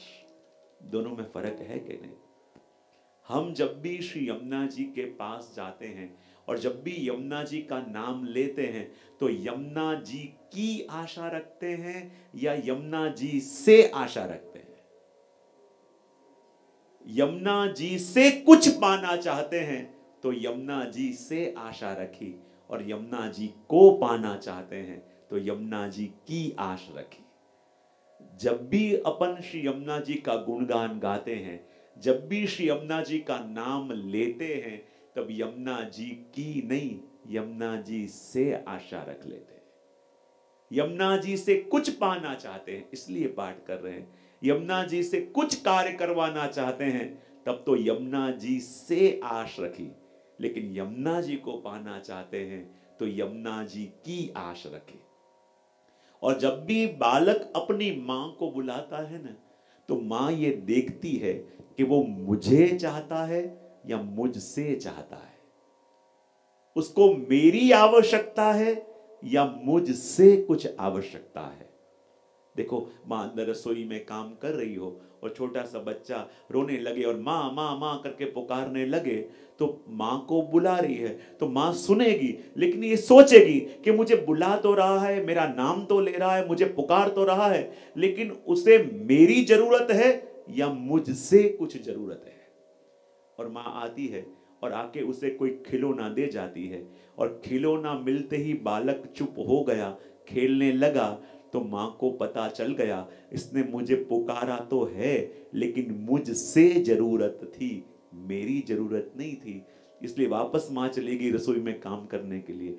थोड़ी देर हुई, बच्चा फिर से रोने लगा और फिर से माँ माँ माँ पुकारने लगा और माँ को लगा, इस बार तो उसे मेरी ज़रूरत होगी लेकिन परीक्षा करने के लिए माँ गई, खाने के लिए कुछ चॉकलेट वगैरह दे दिया तो बच्चा वो खाने में लग गया, चुप हो गया।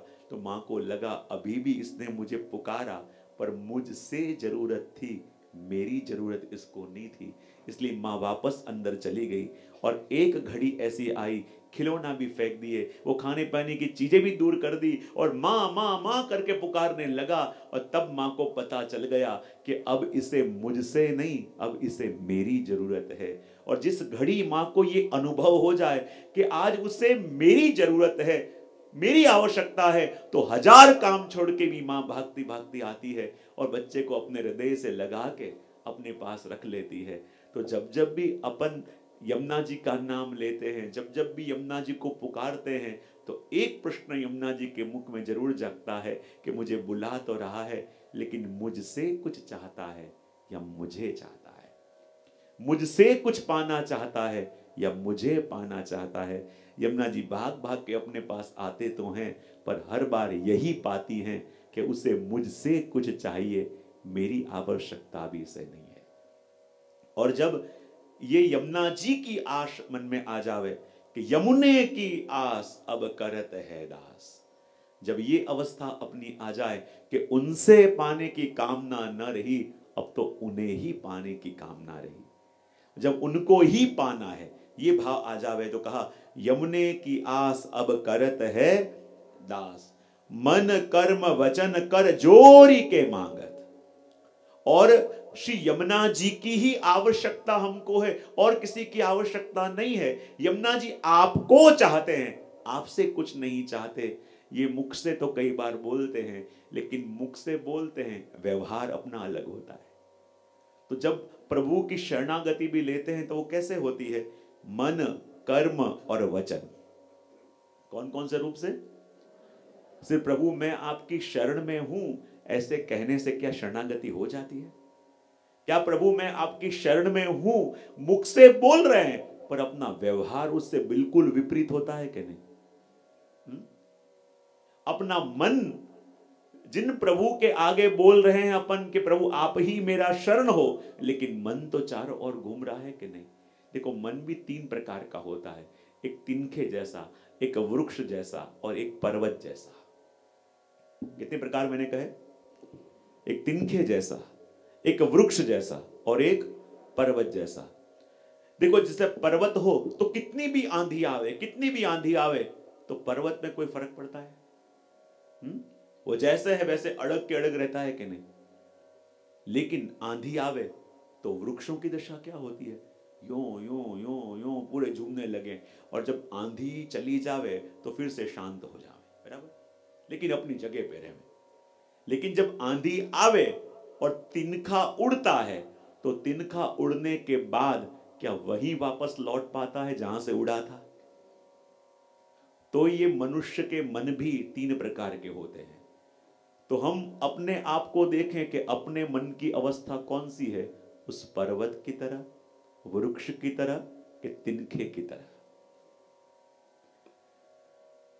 पर्वत जैसा कहते हैं कि भगवदियों का मन है। कितनी भी विपत्ति आ गई, कितना भी कष्ट आ गया, पर जिनकी दृढ़ता में, जिनके विश्वास में, जिनके भरोसे में कभी कोई परिवर्तन नहीं आता। वो मानो पर्वत जैसा मन। लेकिन दूसरी कक्षा है, वृक्ष जैसा मन। हाँ थोड़ी कसौटी चल रही थी, थोड़े विचलित हुए, पर जहाँ कसौटी का समय गया, वापस जहाँ थे, वहाँ स्थित हो गए। लेकिन तिनखे जैसा मन यानी क्या कि एक बार हवा आई, उड़ा के वहाँ ले गई। दूसरी हवा आई, उड़ा के और कहीं ले गई। बोले, यहाँ काम ना हुआ तो वहाँ चलो, वहाँ काम ना हुआ तो और वहाँ भी काम ना हुआ तो वो कौन है? बोले, तिनखे वाले। कौन है? हाँ कि जो जहाँ है वहाँ रहते नहीं है। जब तक कुछ पाते रहे, तब तक रहे और जहाँ हवा आई, तब उड़ा के ले गई।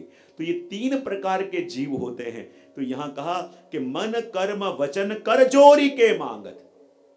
जब प्रभु से अपन कहते हैं कि प्रभु मैं आपका हूँ तो जिस समय आप कहते हो कि आप प्रभु के हो, उस समय आपके संग क्या मन सम्मति दे रहा है? क्या आपका आचरण भी उसमें सम्मति दे रहा है? सिर्फ़ बोलने से कुछ नहीं होता। आपके जब मुख से निकलता है कि प्रभु मैं आपका हूँ, उस समय आपका मन भी उसमें सम्मति दे कि हाँ जैसे वाणी ने कहा, मैं वास्तव में प्रभु का हूँ। वाणी बोल रही है कुछ, लेकिन मन जान रहा है कि असलियत क्या है। हुँ?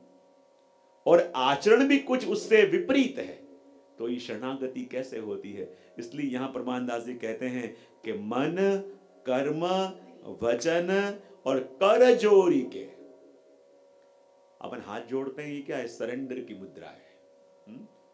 देखो आप इस तरह हाथ जोड़े हुए हो ना। तो बहुत ज़ोर से बोल नहीं पाओगे। इसलिए वाणी का निग्रह होता है। ऐसे हाथ जोड़े हुए होते हैं ना तो मन भी शांत होने लगता है। और ऐसे जोड़े हुए होते हैं तो जल्दी भाग भी नहीं सकते। तो मन, कर्म, वचन, कर जोरी के मांग। तीनों का संयम, तीनों का कंट्रोल तीनों का बैलेंस करके मैं आपके पास माँगता हूँ कि निश दिन राखिए अपने जो ऐसी कृपा करो कि सदा आपके पास रहूँ। और कहा, और आपके पास रहूँगा तो आप जहाँ रहते हो वो स्थान कैसा है? तो कहते हैं कि, जहाँ पिय रसिक वर, रसिक नी राधिका दो जन संग मिल करत हैं रास. श्री अम्ना जी, जहाँ आप रहते हो वो स्थान कैसा है? कि जहाँ पिय रसिक वर, जहाँ प्रभु और जहाँ राधा जी नित्य रास करते हैं ऐसी आपकी कुंज है कि जहाँ नित्य प्रभु आपका वास है, क्योंकि यमुना जी की कुंज कैसी है कि जहाँ ठाकुर जी नित्य रास करते हैं। यमुना जी कुंज कैसी है? जहाँ प्रभु नित्य रास करते हैं। बोले, क्यों? तो अपन ने कल या परसों प्रसंग सुना था ना कि जब ठाकुर जी रास कर रहे थे तो गोपियों ने क्या कहा कि आप हमारी तरह हो जाओ तो हमको रास में आनंद आवे। और तब प्रभु ने क्या कहा कि तुम में से कोई एक सखी मेरे वस्त्र श्रृंगार संभाले? तो मैं रास करूँगा। और उस समय कोई तैयार न हुआ। तब तैयार कौन हुआ? श्री यमुना जी। और यमुना जी ने वस्त्र श्रृंगार संभाले और ठाकुर जी ने रास करके सभी गोपीजनों को रास का सुख दिया। और जब रास पूरा हुआ, तब ठाकुर जी आए यमुना जी के पास और आके कहा कि देखो यमुना जो, आज आपने खुद सुख न लेके अपने जीवों को सुख दिया है खुद रास का आनंद न लेके, अपने जीवों को रास का आनंद दिया। तो मैं आपको वचन देता हूँ कि नित्य आपकी कुंज में आके मैं रोज रास करूँगा। तो यमुना जी की कुंज कैसी है? कि जहाँ पिय रसिक वर, रसिकनी राधिका दो जन संग मिल करत हैं। दास परमानंद पाए अब व्रज चंद देखी सिराने नैन मंद हास और ये पद का संक्षिप्त सार आपको समझा दो तो उसके कुछ शब्द देख लो। एक है आस, फिर है दास, फिर है पास, फिर है रास और हास।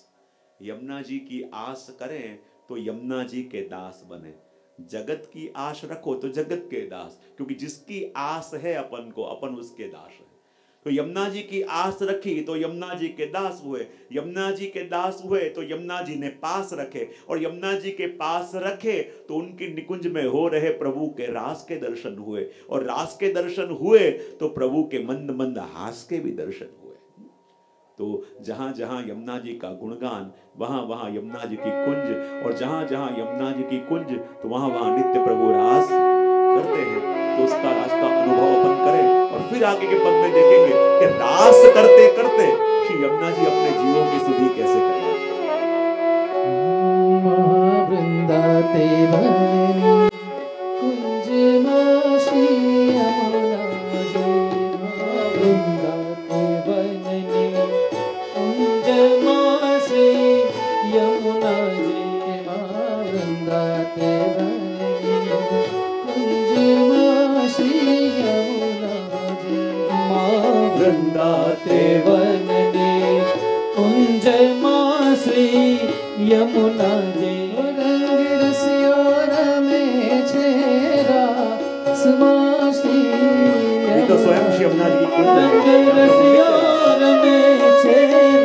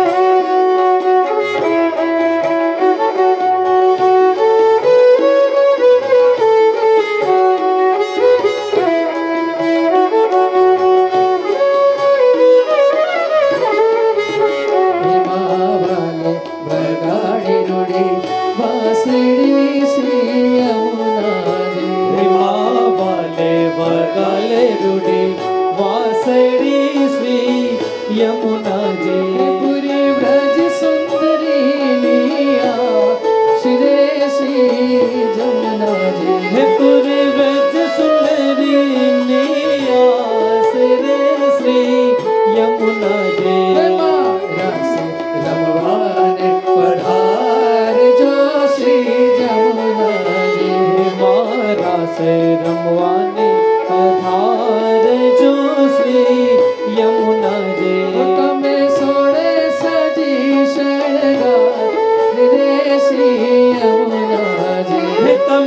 यमुना सजो यमुना वृंदा देव कुंज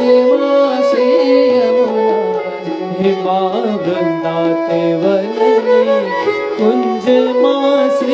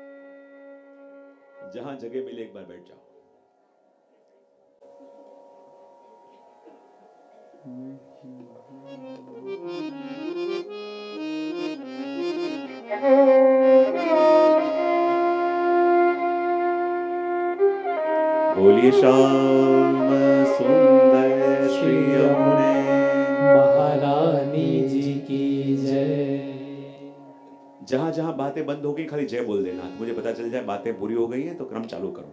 श्याम सुंदर श्री यमुने यहाँ बातें पूरी हुई, मान लिया। अब बीच वाला पट्टा। श्याम सुंदर श्री यमुने आप जे बोलोगे, मैं मान लूँगा कि बातें पूरी हो गई हैं। यहाँ, श्याम सुंदर श्री यमुने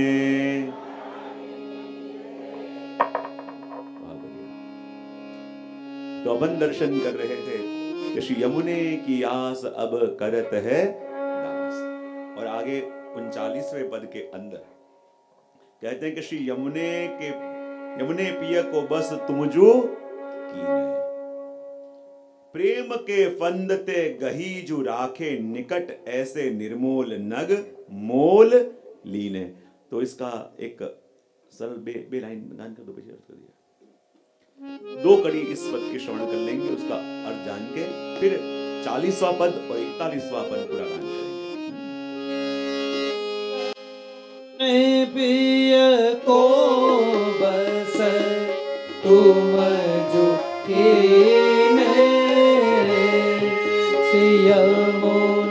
पिय को बस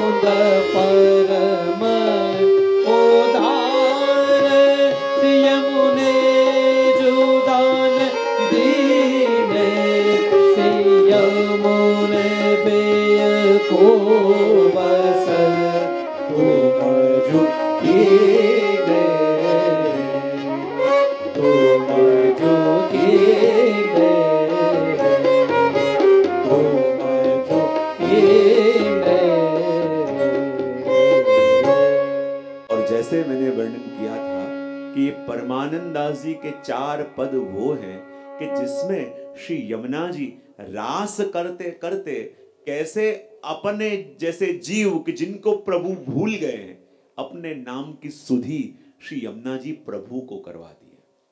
और कहते हैं कि जब यमुना जी ऐसे ही श्रृंगार धरे हैं कि जैसे प्रभु को प्रिय है, ऐसे ही वस्त्र धरे हैं कि जो प्रभु को प्रिय हैं, और यमुना जी ने मानो प्रभु को ऐसे मोह लिए हैं, ऐसे मोह लिए हैं कि यहाँ परमानंदास जी वर्णन करते हैं कि श्री यमुने प्रिय को बस तुमजू की ने और ऐसे तो प्रभु को वश श्री यमुना जी ने कर लिए हैं कि प्रेम के फंदते गहीजू राखे निकट।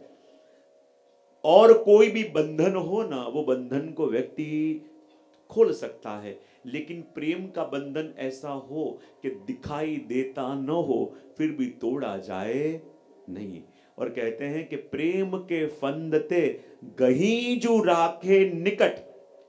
प्रभु को ऐसे अपने प्रेम के बंधन में प्रभु को बांधा है और प्रभु स्वयं ऐसे बंध गए हैं कि ऐसे निर्मोल नग मोल लीने और ऐसे निर्मोल लग मानो किसी ने मोल ले लिया हो, ऐसे प्रभु को वश किए हैं। और कैसे वश किए हैं? तुम जो पठावत, तहां अब। और इस समय यमुना जी निकुंज के अंदर यहाँ बैठे हुए जितने भी जीव के मन में जो जो मनोरथ जाग रहे हैं ना, वो मनोरथ को सुन रही हैं। और मनोरथ को सुन के जब प्रभु को कहें कि प्रभु, पधारो और इस जीव का मनोरथ पूरा करो। और जैसे ही यमुना जी विनती करें और प्रभु भागते भागते जावें और उस जीव का मनोरथ पूरा करके आवें, इसलिए कह रहे हैं कि तुम जो पठावत तहां अब चल के नहीं, प्रभु दौड़ के जाते हैं। जहाँ जहाँ यमुना जी कहें कि प्रभु, इस जीव के मनोरथ पूरे करो और यमुना, प्रभु दौड़ते दौड़ते जावें और उसके मनोरथ पूरे करें, बोले, तिहारे रस रंग में सदा भीने और यमुना जी के रस रंग में प्रभु ऐसे रंग गए हैं, ऐसे रंग गए हैं कि यमुना जी जो कहें वो करने को तैयार। यमुना जी जैसे कहें वैसे कृपा करने को तैयार। और इसलिए कहा कि, दास परमानंद, पाए अब व्रजचंद परम उदार श्री यमुने जुदान दीने और प्रभु हमको मिले कैसे? बोले, श्री यमुना जी ने दिए हैं। और ऐसे वर्ष जब प्रभु हो गए, और अब चालीसवें पद के अंदर परमानंदाजी अपन को कह रहे हैं कि रास करते करते और अपने नाम की सुधि श्री यमुना जी प्रभु को कैसे करवाती है। अब रास वहाँ गोलोक धाम में प्रारंभ इस घड़ी में हो गया है। इस समय अब रास प्रारंभ हो गया है। और प्रभु यमुना जी के संग रास कर रहे हैं और रास करते करते यहाँ बैठे हुए सभी जीवों की सुधि आज श्री यमुना जी प्रभु को कैसे करवाएँगे? अपन दर्शन करें।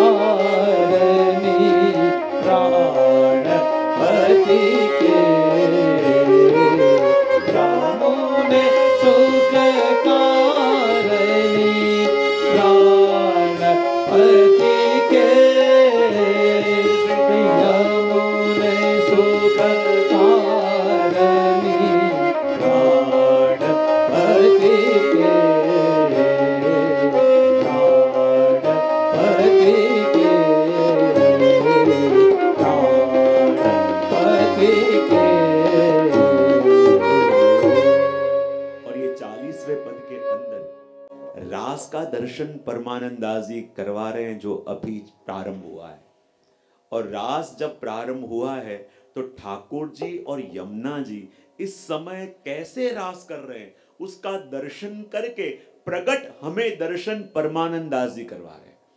जब रास कर रहे हैं प्रभु तो कैसे कर रहे हैं? श्री यमुने सुख कारणी प्राणपति के, जिन्हें भूली जात पिय, तिन्हें सुधी। श्री यमुना जी आज रास कर रहे हैं, पर रास करते करते यमुना जी के मन में मनोरथ क्या जागा है?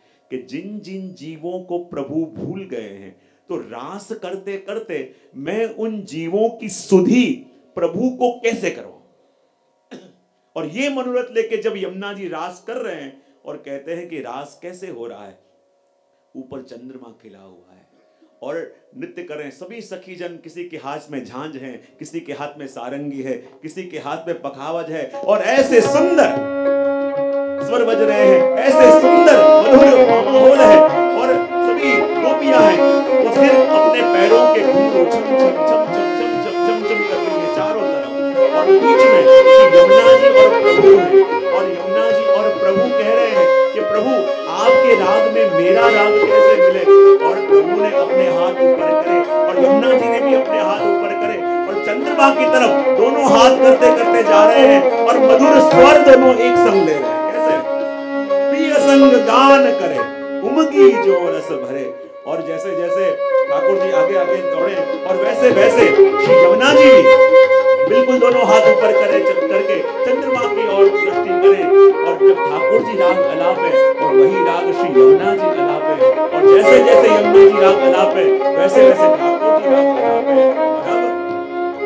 देत तारी कर लेत झटके, और अब रास प्रारंभ हुआ। और रास प्रारंभ कैसे हुआ? पास आके ठाकुर जी यमुना जी को हाथ में तारी दे के और घूम के वापस आवे। फिर पास आवे, हाथ में तारी दे के गोल घूम के वापस आवे।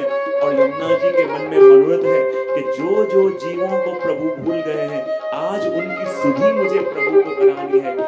रास में दोनों हाथ पकड़ के यमुना जी ठाकुर जी गोल घूमे, गोल घूम के आवे और फिर तारी दे के इस तरफ़ बदले। और आज जैसे गोल घूम के आए और जैसे पास आके यमुना जी तारी देवे और जैसे तारी देवे तो यहाँ बैठे हुए एक एक जीव का नाम यमुना जी बोले। और जैसे एक एक नाम प्रभु के कान में आके बोले, प्रभु चौंक गए कि किसका और यमुना जी आगे चले जाएँ और जैसे ही हाथ पकड़ के घूमे और जैसे ही पास आके तारी देवे, कैसे रास हो रहा है? पिय संग गान करत उमगी जो रस भरे, देत तारी कर लेत झटके। हाथ से झटक करके या गोल घूमे जैसे पास आवे और एक हाथ से जब तारी देवे तो बिल्कुल ठाकुर जी के कानों के पास आके यमुना जी एक एक जीव का नाम लेवे और एक एक जीव का नाम लेवे और प्रभु को लगे किसका नाम ले रहे, किसका नाम ले रहे। लेकिन जैसे जैसे बार बार एक एक जीव का नाम प्रभु के कानों में लेवे और यमुना जी के मुख से उस जीव का नाम सुन के पहले तो ठाकुर जी को लगे ये नाम कहीं सुना हुआ है, लेकिन फिर से आके जब तारी देवे और नाम लगे नाम लेवे तो यमुना जी के मुख से नाम सुन के यहाँ बैठे एक एक जीव का चेहरा भी अब ठाकुर जी को दिखने लगा और फिर से जब ये तारी दे के आवे, और जैसे ही पास में आके तारी देवे, और यमुना जी फिर से यहाँ बैठे जीवों का स्मरण करावे तो ठाकुर जी को पहले तो नाम याद आवे, फिर स्वरूप दिखने लगे, और फिर ठाकुर जी स्वयं उस जीव को मिलने के लिए ऐसे व्याकुल हो जाए कि वो जीव कैसा भी क्यों ना हो मेरा है, और मैं अपने जीव को कभी छोड़ नहीं सकता। और जैसे जैसे रास करे प्रिय संग गान करे उंगी जो रस भरे देत तारी कर लेत झटके। और जैसे जैसे रास करते करते एक एक जीव की सुधि श्री यमुना जी प्रभु को करावे, और नाम सुनते सुनते श्री यमुना जी को एक एक जीव का नाम भी स्मरण हो जावे। स्वरूप भी याद आ जावे और जैसे जीव व्याकुल प्रभु के लिए हो, ऐसे आज यमुना जी उस जीव की ऐसी सुधि प्रभु को लिवाते हैं कि प्रभु स्वयं उन जीवों को मिलने के लिए स्वयं व्याकुल हो जाते और जब जीव प्रभु को मिलने के लिए व्याकुल तो हो, लेकिन आज प्रभु जब उन जीवों को मिलने के लिए व्याकुल हो जावे तो परमानंद जी कहते हैं कि दास परमानंद पाए अब व्रज चंद जब प्रभु हमें मिलने के लिए व्याकुल हुए दास परमानंद वाए अब व्रज यही जानत सब प्रेम। गति के और कहते हैं कि ये श्री यमुना जी ऐसे करके नित्य अपने जीवों की सुधि प्रभु को करवाते हैं। और जब जब श्री यमुना जी का नाम अपन लेते हैं, श्री यमुना जी का गुणगान अपन करते हैं तो हम तो नाम ले लेते हैं, लेकिन क्या परिश्रम यमुना जी अपने लिए लेते हैं, ये हमको कल्पना भी नहीं हो सकती। और इसलिए ये चालीसवें पद का गान करके अब इकतालीसवें पद की एक एक कड़ी का गान हम सब मिलके एक एक पद करेंगे। पची पची शरण प्रतिपाल,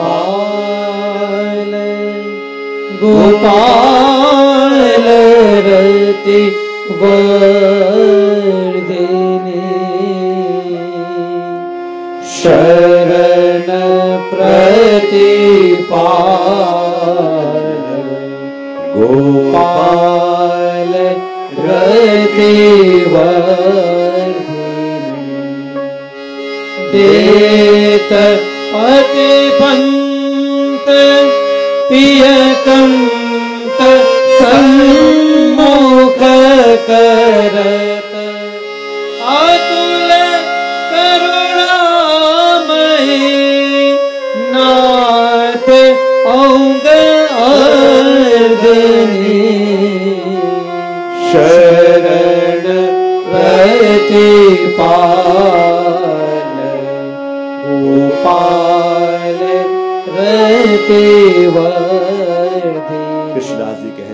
रतिवर्धि कृष्णदास जी कह रहे कि कैसे यमुना जी, शरण प्रतिपाल, जो एक बार जीव उनकी शरण में जाए, उनका प्रतिपालन करने वाले, और कैसी भी अवस्था आ जावे, पर जिस, जो यमुना जी किसी भक्तों का साथ कभी न छोड़े। याद करो वो किशोरी बाई को, कि जब बचपन से यमुनाष्टक का पाठ करवाते थे, और माता पिता कहते, बेटा, जब जीवन में कोई ऐसी घड़ी आ जावे, कि तेरा साथ देने को कोई तैयार न हो तब भी श्री यमुना जी को मत छोड़ना, क्योंकि दुनिया तेरा साथ छोड़ेगी और श्री यमुना जी तुझे नहीं छोड़ेंगे।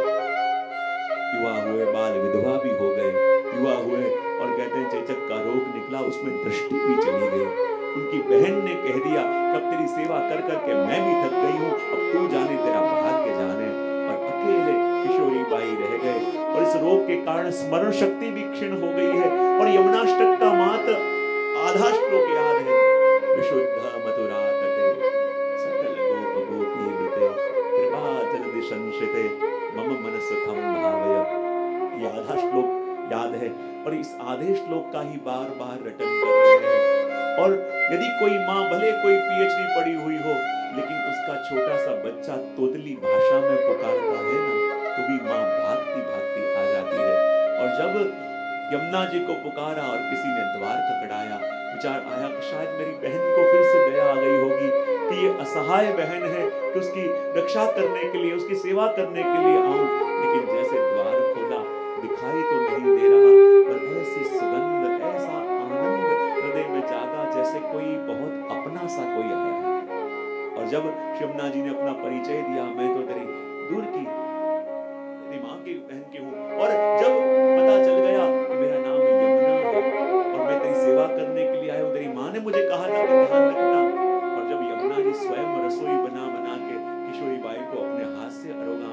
और जहाँ अपना हाथ मस्तक पे फेरा। और किशोरी बाई को ऐसा रोमांच हो गया कहने लगी, आप कह तो रही हो कि मेरे दूर के सगे हो, लेकिन जब आपका हस्त मेरे माथे पे पड़ता है तो ऐसे लग रहा है कि और कोई नहीं, स्वयं श्री यमुना जी मेरे पास आए। और जहाँ श्री यमुना जी ने आके स्वयं किशोरी बाई की सेवा करी, और जहाँ किशोरी बाई की सेवा करी, और जब हस्त फेरा दृष्टि मिली दृष्टि मिली ढूँढने लगी कि जो मेरी सेवा यहाँ रह के कर रहा था वो कौन है? कहीं ना मिले, लेकिन गाँव में गुसाई जी पधारे और जब किशोरी बाई गई, तब गुसाई जी ने कहा, अरे किशोरी, तेरे कैसे भाग्य कि जिन यमुना जी की सेवा हमें करनी चाहिए, वो यमुना जी ने स्वयं आके तेरी सेवा करी और कहते ही किशोरी बाई, यानी कौन? किशोरी बाई सिर्फ़ वार्ता साहित्य का एक पात्र नहीं, पर जिसके हृदय में भी श्री यमुना जी के दर्शन की ताप जगे। श्री यमुना जी के दर्शन का ताप, उसी को मैं कहता हूँ किशोरी और यमुना जी अपने किशोरी के बिना रह नहीं सकते, जिसके हृदय के अंदर यमुना जी के दर्शन का ताप जगे और यमुना जी उसके वहाँ भी पधारते हैं। जैसे कह दिया, देत पति पंत पिय कंत सन्मुख करत। और अपने प्रभु के पंत पे ले जाके और अपने प्रभु को सन्मुख करने वाली श्री यमुना जी है। श्री यमुना जी कैसे हैं? जन जान रस पूंज कुंजेश्वरी रमत रस रास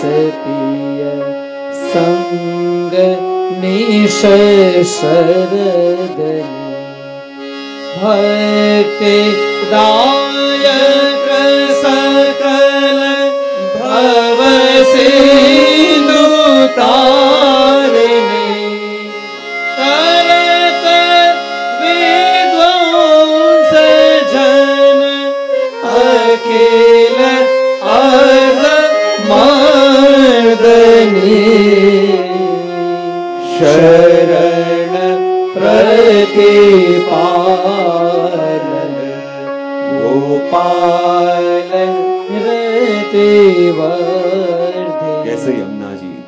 जन जान।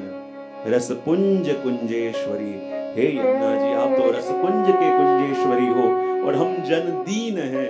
दीन जन जान रस पुंज कुंजेश्वरी रमत रस रास पिय संग निश शरदनी। और नित्य आप प्रभु के संग रास करने वाले हो। भक्ति दायक सकल भव सिंधु तारिणी।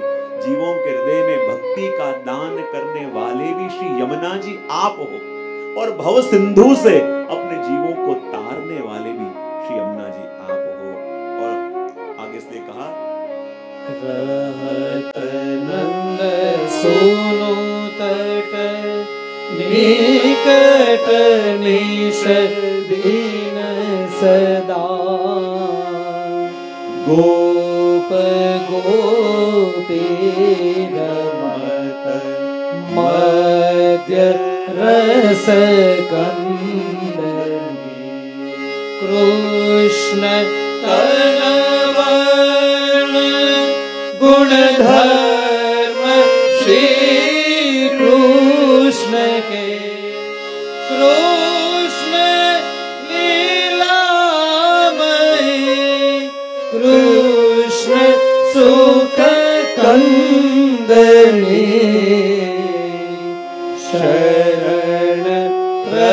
प्रतिपाल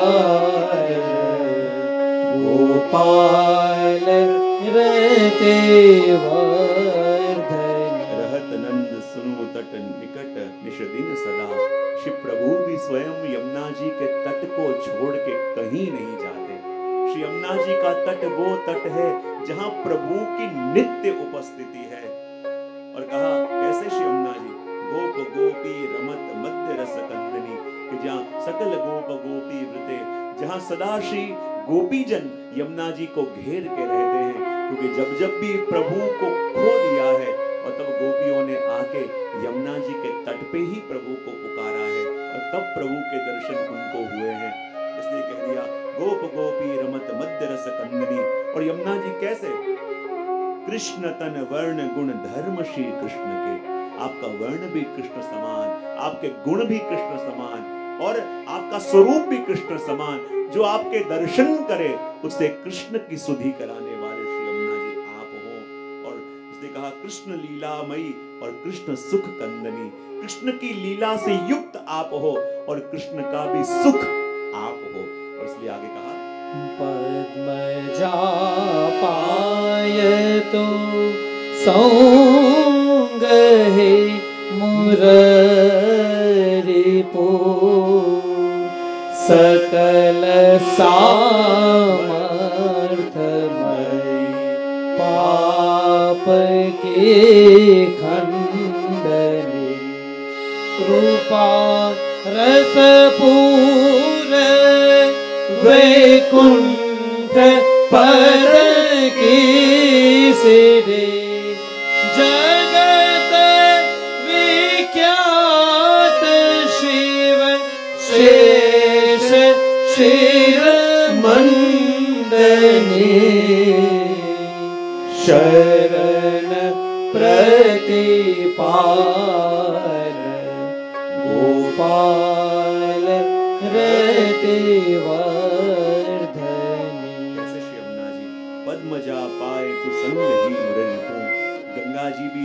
आपके संग मिले, वो भी प्रभु को इतने प्रिय हुए। सकल सामर्थ्य का दान देने वाले श्री यमुना जी आप हो, पाप का खंडन करने वाले श्री यमुना जी आप हो। और कृपा रसपूर वैकुंठ पद की सीढ़ी प्रभु की कृपा से भरपूर, ऐसे श्री यमुना जी और जीव को प्रभु तक ले जाने वाली सीढ़ी श्री यमुना जी और जगत विख्यात शिवशेष शिर मंडनी और जगत विख्यात और शिव ब्रह्मादि देवों ने भी जिसकी स्तुति करी है, ऐसे श्री यमुना जी और आगे कहे। पर कमल तर और सब छांड के देख दृग कर गया हास्य मुख मंदनी उभय कर जो।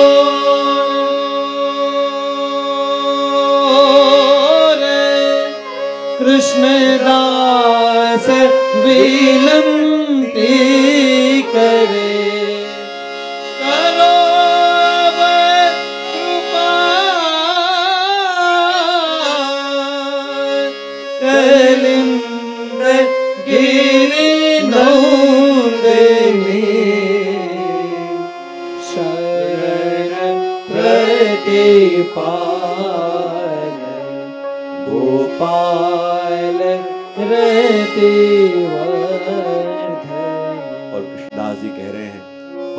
पद कमल, तर और सब छाणी के जैसे एक लकड़ी को छोड़ो और जैसे लकड़ी सीधी गिर जाती है।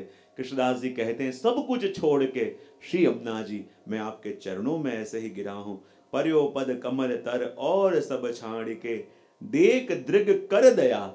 हे यमुना जी, आपके चरणों में हूँ, और कुछ नहीं चाहता। बस यही चाहता हूँ कि आपकी एक दृष्टि हमारे ऊपर पड़ जाए। देख दृग दया, हास्य मुख मंदनी।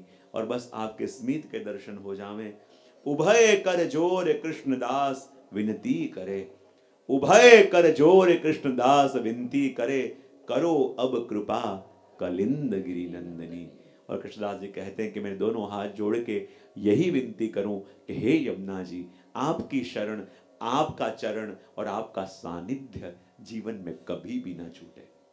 और ये इकतालीस पदों की यात्रा को आज यहाँ अल्प विराम अपन देने जा रहे हैं, क्योंकि इकतालीस पद तो ऐसा सागर है कि इसका कोई छोर नहीं है। पर श्री यमुना जी के गुणगान आपने गाए हैं तो यही विनती यमुना जी के चरणों में करूँगा कि यमुना जी के जो एक एक इकतालीस पद है ना, और मैं हमेशा कहता हूँ कि अनेक अनेक विषय पे मेरे प्रवचन होते हैं, भागवत जी पे भी होते हैं अनेक विषय पे प्रवचन करे हैं पर जब भी मैं यमुना जी के गुणगान गाता हूँ मैं कहता हूँ कि ये मेरा विषय नहीं ये मेरा विश्वास है। विषय अनेक हो सकते हैं पर ये विश्वास है। और यदि मैं अपने जीवन का कहूँ तो यमुना जी यदि मेरे जीवन से मैं दूर करके देखूँ तो मेरे जीवन में कुछ भी नहीं है। और यमुना जी की कृपा का मैं कहूँ तो उनकी कृपा को मैं कहाँ तक कहूँ आज वाणी भी स्फुरित होती है ना तो मेरी यमुना जी की कृपा से। मैं कई बार कहता हूँ कि बचपन में ऐसी अवस्था थी कि मैं बोल नहीं सकता था। और बराबर बोलूँ तो भी औरों को समझ में नहीं आता था। और आज ऐसी अवस्था है कि दुनिया भर में जाना होता है तो वो मात्र और मात्र मेरे श्री यमुना जी की कृपा है। क्योंकि जिसका है उसका यश उन्हीं को देना पड़ेगा। लोग जब आके मेरे आगे कहें कि सुंदर लगता है, लेकिन मेरा, मैं जानता हूँ कि ये किसका है। मैं जानता हूँ कि किसकी कृपा है। और उनकी कृपा का वर्णन करना चाहूँ तो मैं क्या कहूँ, कहाँ तक कहूँ कि जब जन्म लेना था तो जन्म लेने के लिए भी जन्मदिन उन्होंने अपना दिया। उससे बढ़कर और मैं क्या कृपा कहूँ? राशि अन्य होने पर भी उन्हीं की राशि से सब जाने, उनसे अधिक कृपा में और यमुना जी की क्या कहूँ? क्योंकि वो मेरी भी है और मैंने पहले ही कहा कि शिवना जी मेरा विषय नहीं, मेरा विश्वास है। और यही कृपा मैं कहूँगा कि जब भी मुझे कोई रास्ता ना दिखे, मैं अपनी बात करता हूँ, मैं शिवना जी की इकतालीस पद करता हूँ। मेरे लिए वेद कहो, मेरे लिए मंत्र कहो, मेरे लिए कोई साधन कहो, मेरे लिए कुछ भी कहो तो इकतालीस पद से बढ़कर मेरे लिए और कुछ नहीं, ये मेरा विश्वास है। इसलिए यही कहूँगा कि पाँच दिन आप यहाँ बैठे, पर रोज हो सके, पूरे इकतालीस न हो तो कम से कम चार पद शिवना जी के नित्य करो। और यदि इतना भी क्रम आप करोगे, मैं जानता हूँ श्री यमुना जी सदा आपके संग रहेंगे। और यदि यमुना जी आपके संग हैं तो इसका कोई फ़र्क नहीं पड़ता कि आपके विरोध में दुनिया में सामने कितने खड़े हैं, जो यमुना जी संग हो, फिर दुनिया की परवाह मत करो। अपने संग कौन है ये पता हो ना, फिर सामने कौन कौन खड़ा है, इसकी फ़िक्र भी नहीं रहती। और जब श्री यमुना जी के गुणगान नित्य होंगे तो मैं निश्चित मानता हूँ कि उसका अनुभव स्वयं आप करोगे। और मैं तो मानता हूँ कलिकाल के अंदर ये बोलते प्रभु हैं। बोलते मतलब आपके संग आप अपना बात, अपनी मन की बात कोई कहो और जवाब न दें, ये मैं मानने को तैयार नहीं हूँ। तो इसलिए यही विनती प्रभु के चरणों में करूँगा कि आप सभी के ऊपर श्री यमुना जी की इतनी कृपा हो और जिन जिन ने भी गुणगान यमुना जी के यहाँ बैठ के करे हैं, मुझे भरोसा है कि अब आप अकेले नहीं, जीवन के हर पथ पे श्री यमुना जी आपके सामने हैं। श्री यमुना जी कभी भी आपका साथ नहीं छोड़ेंगी। क्योंकि आप यमुना जी का गुणगान यहाँ बैठ के किए हैं और मेरे यमुना जी का स्वभाव ऐसा है कि जिसके मुख से भी गुणगान निकले हैं, अब आप अकेले जीवन में नहीं हो। कि इतना ही कहूँगा, इतना नियम ज़रूर लेना, इकतालीस पद रोज कर सको तो तो बहुत उत्तम है। यदि न हो तो कम से कम चार पद। इतना नियम भी आप लेंगे तो मुझे लगेगा कि यहाँ आके श्री यमुना जी के गुणगान करना सार्थक हुआ। क्योंकि यहाँ आके यमुना जी के गुणगान करके ऐसे ही चले जाऊँ तो ये सार्थक नहीं है। लेकिन चार पद करोगे तो मुझे लगेगा कि यहाँ आके आपका हाथ यमुना जी के हाथ में सौंप के जा रहा हूँ। और जब आपका हाथ यमुना जी के हाथ में सौंप के जाऊँ तो मुझे लगे यहाँ आना सार्थक हुआ। तो प्रियजनों, ये पाँच दिन तक अपन ने यमुना जी का गुणगान किया और मैंने पहले ही कहा कि देखो ये परिवार के जो प्रतिवर्ष निमित्त बनता है, ये पूरा गांधी परिवार। और जब जब भी मैं तो मैं सुन कहता हूँ कि जब आपके मातृश्री भक्ति बहन को देखता हूँ उनका इतना उत्साह उनके मन में, जब भी जाना हो और इतनी तत्परता जब आयोजन हो, मुझे सुनील भाई वही कहेंगे, जी आप जब तक हो, इतना उत्साह है, वो है, जाते ही फिर उनको थकान लगेगी वो सब कुछ होगा। पर देखो, अपने द्वारा जब कोई भी अच्छे कार्य होते हैं ना हमें पता नहीं होता कि अपने संग किसका पुण्य काम कर रहा है, किसके आशीर्वाद काम कर रहे हैं। और मैं तो सुनील भाई को कहूँगा कि आपके ऊपर ऐसे भगवती के हाथ है, ऐसे भगवती और नाम ही भक्ति बहन है और ऐसे आशीर्वाद हैं, और सुनील भाई आरती बहन शामिल सब जने, और उनके माता की आज्ञा और उनके माता को कैसे प्रसन्नता मिले वो कार्य करने के लिए कुछ भी कर सकते हैं। ये वस्तु मुझे सबसे अच्छी सुनील भाई के अंदर लगती है। देखो, दुनिया में बहुत लोगों से मिलना होता है, लेकिन जिसकी जो वस्तु स्पर्श करती है ना, और मुझे और कोई वस्तु कभी खींचती नहीं है, किसी की कुछ मुझे लगा हो ना तो मुझे खिंचाव होता है। बाकी दुनिया में भपका बहुत देखा है मैंने। पर किसी के अंदर जब कोई वस्तु मुझे स्पर्श जाती है, तब एक आत्मीय संबंध जुड़ता है, और मैंने देखा है इनके अंदर। यही रहता है कि क्या करूँ कि मेरी माता जी को प्रसन्नता मिले मिले। और अकेले भी व्यक्ति कभी कर नहीं सकता जब उनको परिवार का साथ हो। पर भगवती आरती बहन उनका पूरा परिवार उनके कंधे से कंधा मिला के संग खड़े रहते हैं। और तब कोई भी उत्सव ऐसे नहीं होता जब अपनों का साथ, देखो दुनिया में सामर्थ्य प्रभु ने बहुतों को दिया है। सामर्थ्य वाले दुनिया में बहुत है, पर यह कृपा है कि अपने हाथों से ऐसे आयोजन हो। और पाँच पाँच दिन तक सबको बैठा के ये भगवत रस पिलाना, ये कोई साधारण नहीं है। ये आपके बड़ों के आशीर्वाद, आपके पूर्वजों के पुण्य और आपका भाव है, तब ये जाके हो पा रहा है। और मैं तो कहूँगा कि पाँच दिन तक जब आपने गुणगान किया तो आपके हृदय में भी श्री यमुना जी ने वास किया है। मैं तो आशीर्वाद दूँगा, यमुना जी तो देंगे। और आप सब सभी कहूँगा कि ऐसे अंतकरण के आशीर्वाद ये परिवार को देना कि ऐसे ही प्रतिवर्ष गुणगान प्रभु का करते रहें, औरों को लाभ लिवाते रहें। और भले आप जीवन में कितना भी उपलब्ध करो, पर आपकी सच्ची कमाई ये आशीर्वाद है। और ये सच्ची कमाई कमाते रहना। जीवन में जब अपना सामर्थ्य काम नहीं आता, अपने संपर्क काम नहीं आते, तब ये आशीर्वाद काम आते हैं। ये आपकी सच्ची मूड़ी है। और ये सच्ची मूड़ी जीवन भर कमाते रहो ही आशीर्वाद देता हूँ और पूरे परिवार के एक बार जोड़ा तालियाँ बन बजाएँगे अपन, क्योंकि लगभग छह छह वर्षों से ये क्रम सत्संग का चल रहा है और अखंड ये क्रम को उन्होंने संभाल के रखा है। और मुझे रोज सुनील भाई कहते हैं कि जे जे बाईस हो, तेईस हो, चौबीस हो, पच्चीस हो, और मैं क्या करूँगा? सदा के लिए आपको वचन देना पड़ेगा कि यहाँ जनवरी में शुरुआत आपके द्वारा हो और ऐसी तत्परता जब दिखती है, तब अपन को लगे कि वास्तव में व्यक्ति एक प्रेम का बंधन जहाँ दिखता है ना तो अपन को लग जाता है कि अपन बंध गए हैं। और ऐसा प्रेम का बंधन इनका है, और एक आत्मीयता है। तो विशेष तो क्या कहूँ, इस आयोजन के अंदर प्रत्यक्ष रूप से, परोक्ष रूप से, जो जो भी जुड़े, उन सबको भी बहुत बहुत शुभकामना, शुभाशीर्वाद देते हैं। और अगले वर्ष का भी कुछ। हाँ ज़रूर ज़रूर माइक माइक। माइक अगले साल के लिए जे जे पधारे उसके लिए आमंत्रण देवे। हम सब साथ हैं। अब हाथ जोड़ के विनती करेंगे जे जे को कि अगले साल ज़रूर पधारे।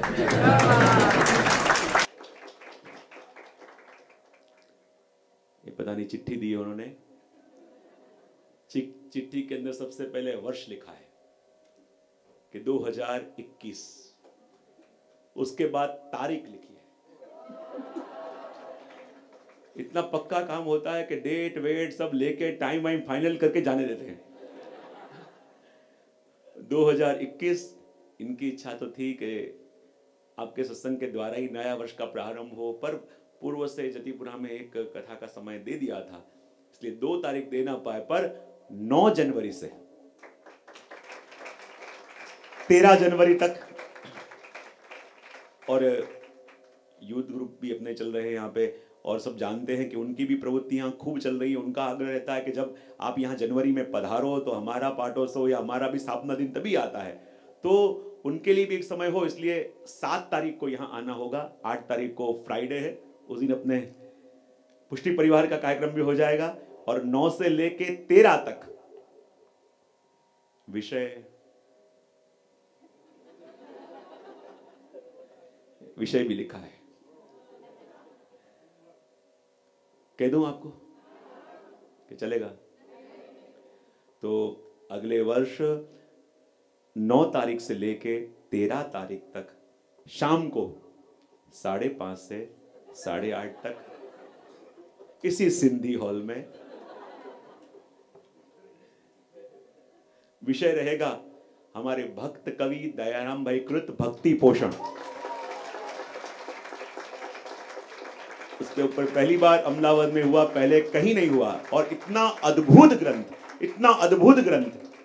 और उसमें दयाराम भाई के जैसे अपन ने वल्लभ साखियाँ गाई। तब भी आपने साथ दिया। इकतालीस पद गाए। तब भी आप सबने साथ दिया। तो वैसे ही ये 100 आ 101 चंद्रा बड़ा है और उसको गाने की पद्धति बिल्कुल अलग है और उसके संग संग अपन दयाराम भाई की प्राचीन गर्भियाँ प्राचीन उनके दौड़ और उनके प्राचीन साहित्य का भी सम्मेलन करेंगे। तो एक अद्भुत अनुभव अपन को अगले वर्ष भी यहाँ होने वाला है और उसके मनोरथी भी वन एंड ओनली अपने।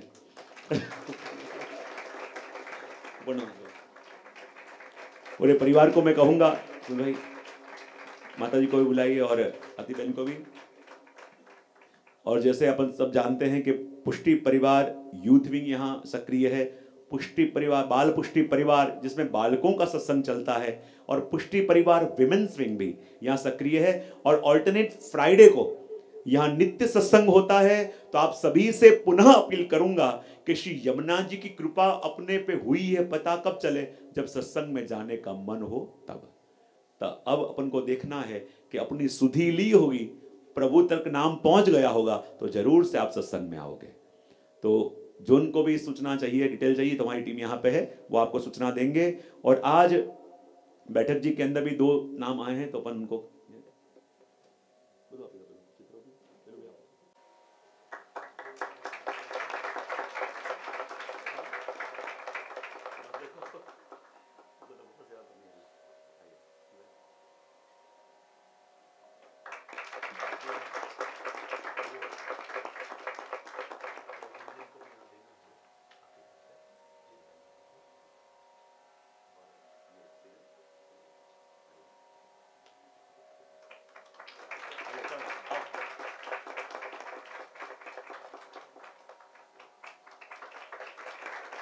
बस प्रभु की कृपा ऐसी ही इस परिवार की। आप भी आ जाइए।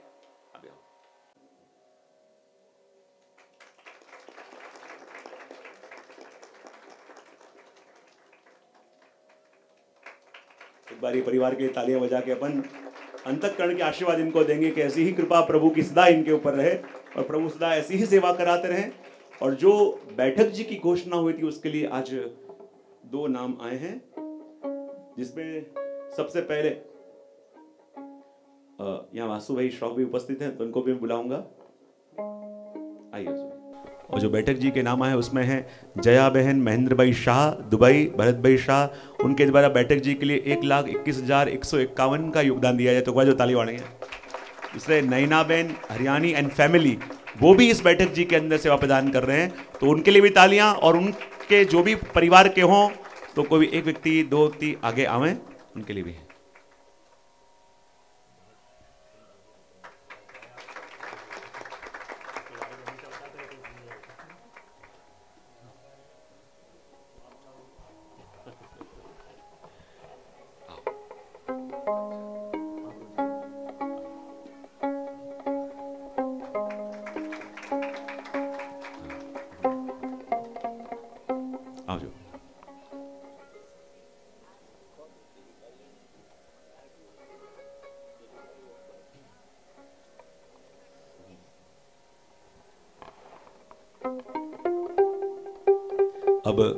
गंगा जी की आरती होगी।